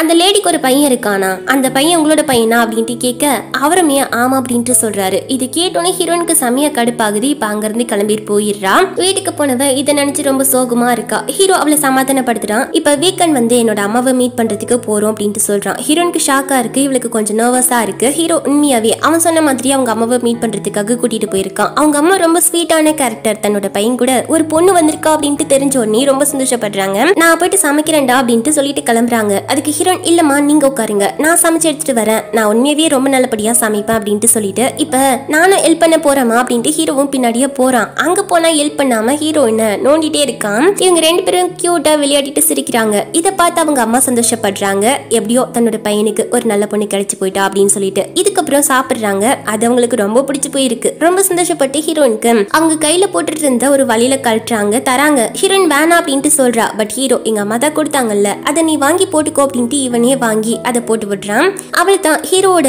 அம்மாவுக்குமே ஹீரோயினும் ரொம்ப பிடிச்சி போச்சு. இந்த விஷயத்தெல்லாம் இவளோட ஃப்ரெண்டு கிட்ட சொல்ல இவளுக்கா ஷாக்கு என்னடி சொல்ற? அப்படின்ட்டு. இதுக்கப்புறம் ரெண்டு பேரும் பேசிட்டு இவங்க கிளாஸ் ரீயூனியன் நடக்க போது அந்த இடத்துக்கு கிளம்பி போயிட்டு இருக்காங்க. அங்க இந்த சீச்சன் பொண்ணு இருக்கால அந்த பொண்ணு இருக்கா? இந்த பொண்ணு யாருன்னா? ஹீரோயின் படிச்சால அதே காலேஜ்ல இவளுமே பக்கத்து கிளாஸ்ல இருந்தாலாம் அது சொல்லி இன்ட்ரடியூஸ் ஆகிக்கிற அந்த பொண்ணு நல்ல பொண்ணு மாதிரி. அது வீச்சட் ஐடியெல்லாம் ஷேர் பண்ணிக்கிறாங்க. இதுக்கப்புறம் ஒரு நாள் இந்த பொண்ணு இருக்கால சீச்சன் பொண்ணு. அந்த பொண்ணு ஹீரோயினோட ஃப்ரெண்ட வேணும்னே கால் பண்ணி வர வச்சிருக்கா. ஏதோ மேக்கப் போடணும் அப்படின்ட்டு. அவ வந்துட்ட உடனே பயங்கரமா குடிக்க வச்சு அந்த புள்ளிய மாட்டியாக்கிட்டா இப்போ உடனே ஹீரோயினுக்கு கால் பண்ணி நாங்க ரெண்டு பேரும் ரொம்ப குடிச்சிட்டோம். வந்து இவளை கூட்டிட்டு போறியா? அப்படின்ட்டு சொல்றா. இது கேட்ட ஹீரோயினுமே அங்க கிளம்பி போக இந்த பொண்ணு நான் ரெஸ்ட் ரூம் போயிட்டு வரேன் அப்படின்ட்டு அங்க இருந்து கிளம்பிட்டா. இப்போ ஒரு ஆள் வந்து ஹீரோயினை மயக்கமாக்குறான். அதுக்கப்புறம் சில ஆட்களை இந்த பொண்ணு தான் கூட்டிட்டு வந்து ஹீரோயினோட ரூம்ல விட சொல்றா. ஆனா அதுக்குள்ளவே ஹீரோ வர சத்தம் கேட்டுடுச்சான் ஹீரோயின் இங்க வரும்போதே ஹீரோ கிட்ட இன்ஃபார்ம் பண்ணிட்டு தான் வந்திருக்கா போல. இந்த விஷயம் இந்த பொண்ணுக்கு தெரிய வருது. கண்டிப்பா ஹீரோ கிட்ட மாட்டிக்க கூடாதுன்ட்டு இப்போ இவளை மயக்கமாக்குனால அந்த பையன்கிட்டயே என்ன பாத்ரூம்ல வச்சு மயக்கமாக்கிட்டு வெளியே டாப்பல் போட்டுட்டு கிளம்பி போயிடு அப்படின்ட்டு சொல்றான். அந்த பையனும் அதே மாதிரி பண்ணிடுறான். இப்போ ஹீரோ ஹீரோயின் வந்து மயங்கி கிடக்கிறத பார்த்தோன்னே அங்கிருந்து தூக்கிட்டு கிளம்பிட்டான். ஹாஸ்பிட்டல் சேர்த்துட்ட அப்புறம் தான் ஹீரோயினுக்கு வந்து கண் முழிச்சிட்ட அப்புறம் தான் அந்த பொண்ணுமே மயங்கி கிடந்தா அப்படின்ற ஒரு விஷயமே தெரிய வருது. இவளுக்கு டவுட் எல்லாமே அந்த பொண்ணு மேலதான் வந்திருக்கும். இந்த விஷயத்த ஹீரோ கிட்ட சொல்றா. ஹீரோக்குமே லைட்டா ஹீரோயின் சொல்லிட்ட அப்புறம் தான் டவுட் வருது. இப்போ அதெல்லாம் கொஞ்சம் ஒதுக்கி வச்சுட்டு ஹீரோயினுக்கு மேரேஜ் ப்ரப்போசல் பண்றான். என்ன கல்யாணம் பண்ணிக்கிறியா? என்னோட பொண்டாட்டி ஆகிறதுக்கு உனக்கு ஓகேவா அப்படின்ட்டு? அதுக்கு ஹீரோயின்மே கண் கலங்கி ஓகே அப்படின்ற பதில சொல்றா. ரெண்டு பேருமே போயிட்டு மேரேஜ் பண்ணிக்கிறாங்க. இந்த விஷயத்த போயிட்டு அவங்க அம்மா கிட்ட சொல்ல அவங்கள ரொம்ப சந்தோஷப்படுறாங்க. இப்ப அவங்க ரெண்டு பேருமே அங்க இருக்கும் போதே ஹீரோக்கு மெசேஜ் வருது. என்னன்னா இந்த பொண்ணு அதான் அசிஷன் பொண்ணு இருக்கால அவங்க அப்பாவுக்கு பர்த்டே பார்ட்டி வருதான். அந்த பார்ட்டிக்கு வந்து இன்வைட் பண்ணிருக்காங்க அந்த பார்ட்டிக்கு ஹீரோ கிளம்பிட்டு இருக்கும் போதே இந்த பக்கம் அந்த பொண்ணையும் அந்த ஃபேமிலியையும் காட்டுறாங்க. ஹீரோ எப்படியாச்சும் இங்க வருவான் அவனை மயக்கிடணும் அப்படின்ட்டு முடிவே பண்ணிருக்காங்க குடும்பத்தோட சேர்ந்து. அதுவும் இந்த பொண்ணு சொல்றா இந்த மாதிரி அவருக்கு நான் ட்ரக்ஸை கொடுத்து அவர் கூட நான் ஒன்னா இருக்க போறேன் அப்படின்ட்டு. அதுக்கப்புறம் ஹீரோ வந்தோடனே ட்ரிங்க் குடிக்க வைக்க ட்ரை பண்றாங்க. ஹீரோ முடியாது நான் குடிக்கிறது இல்லை அப்படின்ட்டு சொல்லிடுறான். அதுக்கப்புறம் அவனை ஸ்வீட் சாப்பிட சொல்றாங்க. சரி ஸ்வீட் தானே அப்படின்ட்டு ஹீரோ சாப்பிடவும் அவனுக்கு மயக்கம் வந்துடுது. ஸோ அங்கிருந்து தட்டு தடுமாறி அங்க இருக்க வெயிட்டர் கிட்ட எனக்கு ஒரு ரூம் புக் பண்ணு அப்படின்ட்டு அது ஒரு ஹோட்டல் அங்க போயிட்டு ரூம் புக் பண்ணு அப்படின்ட்டு சொல்லிட்டு அந்த ரூம்ல போயிட்டு படுத்துட்டான். இப்போ கொஞ்ச நேரத்துல அந்த பொண்ணு வருது. அவன் தன்கிட்ட தப்பா நடந்துக்கிட்டான் அப்படின்றத காட்டணும் அப்படின்னு சொல்லிட்டு வீடியோவை ஆன் பண்ணி இந்த பொண்ணு அவளோட ட்ரெஸ் எல்லாம் லைட்டா விளக்கி விட்டுட்டு போயிட்டு ஹீரோ பக்கம் படுத்துட்டு இந்த மாதிரி பண்ணாதீங்க நடந்துக்காதீங்க அப்படின்ட்டு இவளாவே கத்திட்டு இருக்கா இதுக்கப்புறம் பக்கம் இருந்த பையன் சிரிக்க அதுக்கப்புறம் தான் யார் அப்படின்றது தெரிய வருது. அந்த பிள்ளை பக்கம் படுத்துட்டு இருந்த பையன் வந்து ஹீரோட பர்சனல் பாடி கார்டு இப்போ எழுந்திரிச்சவன் அந்த பக்கம் பாத்ரூம் கதவை ஓபன் பண்ணிட்டு ஹீரோவும் ஹீரோட அசிஸ்டன்ட் வராங்க. சரி எதுக்காக இப்படி பண்ண? அப்படின்ட்டு ஹீரோ கேட்டா அது வந்து நான் உங்களை ரொம்ப லவ் பண்ணேன். அதனால சும்மா ஃபன்னுக்காக எடுத்தேன் அப்படின்ட்டு அந்த பொண்ணு சொல்லுது. ஓ ஃபன்னுக்காக சரி ஓகே அப்படின்ட்டு அங்க கேமராவை பாரு அப்படின்ட்டு அசிஸ்டன்ட் சொல்றான். பார்த்தா இந்த பொண்ணு நடந்துக்கிட்டது எல்லாத்தையுமே அங்க சேவ் பண்ணி வச்சிருக்காங்க. அங்க ஒரு கேமரா வச்சு. இந்த பொண்ணுக்கு இன்னும் கொஞ்சம் அல்ல இல்ல. சரி நான் இப்போ என்ன பண்ணட்டும் அப்படின்ட்டு கேக்குது. இல்ல நீ ஒண்ணுமே பண்ண வேணாம். நீ வழக்கம் போல எங்க கிட்ட க்ளோஸா வர மாதிரி நடிச்சிட்டு போதும் அப்படின்ட்டு சொல்றான் ஹீரோ. எதுக்காக இப்படி பண்றாங்கன்னா இத பண்ண சொன்னதுக்கே முக்கியமான காரணம் யாருன்னா நம்ம ஹீரோட அப்பா தான். அதுக்காக தான். இப்ப நடிச்சிட்டு இருந்த மாதிரியே நடிச்சிட்டு இருந்தா அது ஓகே ஆகிடும் அப்படின்ட்டு முடிவு பண்ணிட்டு இவன் அப்படி சொல்றான். இதுக்கப்புறம் அடுத்த சீன்ல ஹீரோவை அடுத்த லீடர் ஆக்கணும் அப்படின்ட்டு தாத்தா முடிவு பண்ணிட்டாரு. ஷேர் ஹோல்டர்ஸ் மத்தவங்க எல்லாத்தையுமே கூட்டு வச்சு பேசிட்டு இருக்கும் போது அப்பா அவங்க அப்பா வராரு. எதுக்காகனா அந்த பொண்ணு வீடியோ எடுத்தால அந்த வீடியோவை காட்டி இந்த மாதிரி இவன் நல்லவன் கிடையாது. ஹீரோ அடுத்த லீடர் ஆக போறான்ல. அந்த லீடர் ஆக போறவங்க வந்து எந்த தப்புமே பண்ணக்கூடாதான். அவ்வளவு ஒழுக்கமான திறமையான பசங்களா இருக்கணுமா? அந்த மாதிரி ஹீரோ ஒழுக்கமான பையனே கிடையாது. அவன் இந்த மாதிரி ஒரு பொண்ணு கூட தப்பு பண்ணா அப்படின்னு சொல்லிட்டு அந்த போட்டோவெல்லாம் காட்டுறாரு. இதுக்காக தான் ஹீரோ இந்த அளவுக்கு கூட்டிட்டு வந்திருப்பான் போல. நீங்க தப்பா புரிஞ்சுக்கிட்டீங்கன்னு நினைக்கிறேன். இது உங்களோட பிளான் அப்படின்றது எனக்கு தெரியாது அப்படின்ட்டு நினைச்சீங்களா? இதோட உண்மையான வீடியோ என்கிட்ட தான் இருக்கு அப்படின்ட்டு ஹீரோ அந்த உண்மையான வீடியோவை போட்டு காட்ட இவருக்கு பயங்கர ஷாக்கு அது மட்டும் இல்ல இந்த ஆள் வந்து ஒரு லேடி கூட இருக்கான்ல அந்த லேடி பெத்து வச்சிருக்கால ஒரு பையன். அந்த பையன் இவரோட பையனே கிடையாதான். இது இவருக்கு இன்னும் அதிர்ச்சி. இதுக்கு பிறகு ஹீரோ வீட்டுக்கு போயிடுறான். வீட்டுக்கு போயிட்டு எல்லா பிரச்சனையும் சால்வ் ஆகிடுச்சு அப்படின்ட்டு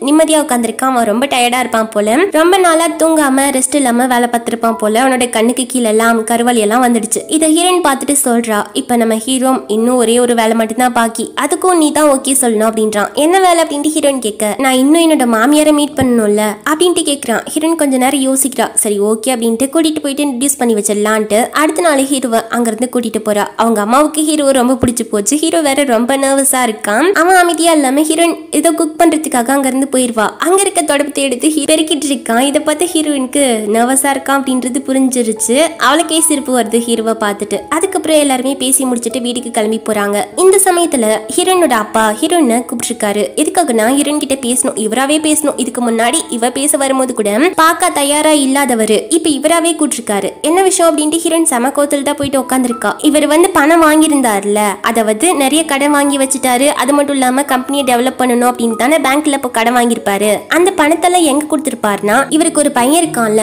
அந்த பையனை யாரோ கிட்னாப் பண்ணிட்டாங்களாம். அந்த பையனுக்கு கொடுக்கறதுக்காக தான் இந்த காசெல்லாம் இவர் கடை வாங்கி கொண்டு போயிட்டு அந்த பையனை கிட்னாப் பண்ணவங்க கிட்ட கொடுத்து அதுக்கப்புறம் அந்த பையனை மீத்து கொண்டு வந்திருக்காரு. இந்த விஷயம் தெரிய வந்தோடனே ஹீரோனுக்கு இன்னும் கொஞ்சம் கடுப்பாகுது. அப்படின்னா நாங்க உங்களை நம்பியே ரெண்டு பேர் நாங்க வீட்டுல இருந்தோம். எங்களை பத்தி கொஞ்சம் கூட நீங்க யோசிக்கவே இல்லைல்ல. இப்ப எதுக்காக என்ன கூப்பிட்டீங்க அப்படின்ட்டு கேக்குறா. அந்த பையனுக்கு வந்து இப்ப போன் மேரோ வந்து ஆபரேஷன் நடக்கணுமா? லிகேமியா இருக்கான் அதனால நீ தான் ஹெல்ப் பண்ணணும். ஏன்னா இவளுமே இவரோட பொண்ணு தானே. அதனால நீ தான் போன் மேரோ டிரான்ஸ்ஃபர் பண்ணணும் அப்படின்ட்டு சொல்றாங்க. இது கேட்டோன்னே ஹீரோனுக்கு கடுப்பாகி அங்கிருந்து கிளம்பி போயிடுறா. அதுக்கப்புறம் இந்த கேன்சியோட அப்பா இருக்கார்ல அந்த ஆள் வந்து ஹீரோனோட அம்மாவை கிட்னாப் பண்ணிடுறான். எதுக்காகனா ஹீரோனோட அப்பாவோட இன்னொரு பையன். அந்த பையனோட பேரு சீஹா. அந்த பையன் வந்து இவரோட மருமகனா அதாவது தங்கச்சி பையனா அக்கா பையனா அப்படின்னு தெரியல.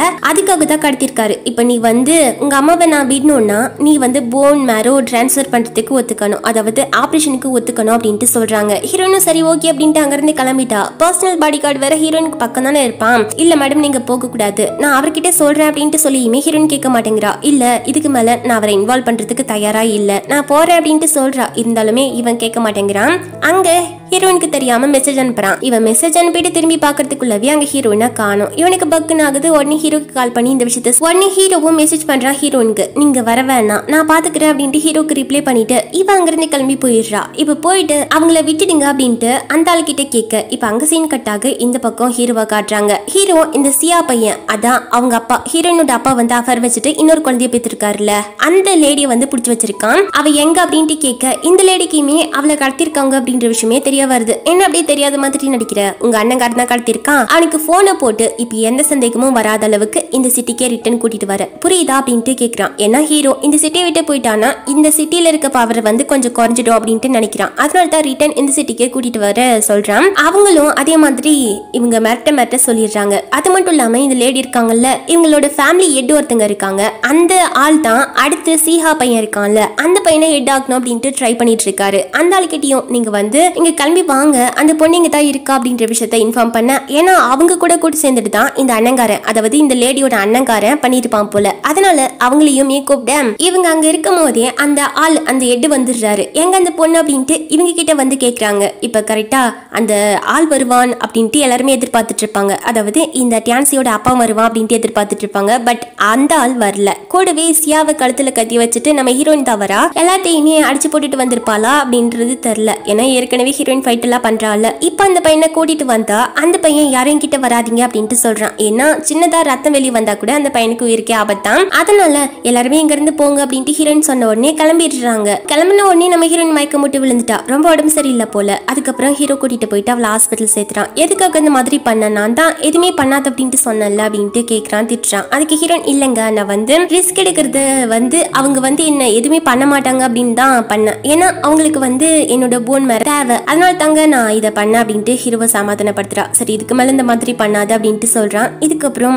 எப்படி நீ அந்த சியா பையனை சமாளிச்சு? அப்படின்ட்டு கேட்குறான் ஆக்சுவலாக இதுக்கெல்லாம் ஹெல்ப் பண்ணதுக்கு வந்து காரணம் அந்த சீஹா பையன் தான். அதாவது ஹீரோயினோட தம்பிக்காரன் தான். அந்த பையன் கொஞ்சம் நல்ல பையன் தான். அந்த பையனுக்கு ஹீரோயின் ஹெல்ப் பண்றதா சொல்லியிருப்பா. அதாவது போன் மரோ சர்ஜரிக்கு ஓகே அப்படின்ட்டு சொல்லியிருப்பா. அதுக்காக தான் அந்த பையன் வந்து ஓகே அப்படின்ட்டு ஹீரோயினுக்கு ஹெல்ப் பண்ணியிருப்பான் போல. இந்த விஷயத்தெல்லாம் ஹீரோ கிட்ட சொல்றா. அவள் தான் எல்லா பிரச்சனையுமே சால்வ் ஆகிடுச்சு. இதுக்கப்புறம் எல்லாருமே சேர்ந்து குரூப் ஆஃப் ஃபோட்டோ எடுக்கிறதோட இந்த ட்ராமா கம்ப்ளீட் ஆகுது. இந்த ட்ராமா எப்படி இருந்துச்சு அப்படின்றத மறக்காம சொல்லுங்க. அடுத்த ஒரு சூப்பரான ட்ராமாவோட உங்களை வந்து சீக்கிரமாவே சந்திக்கிறேன். Okay bye bye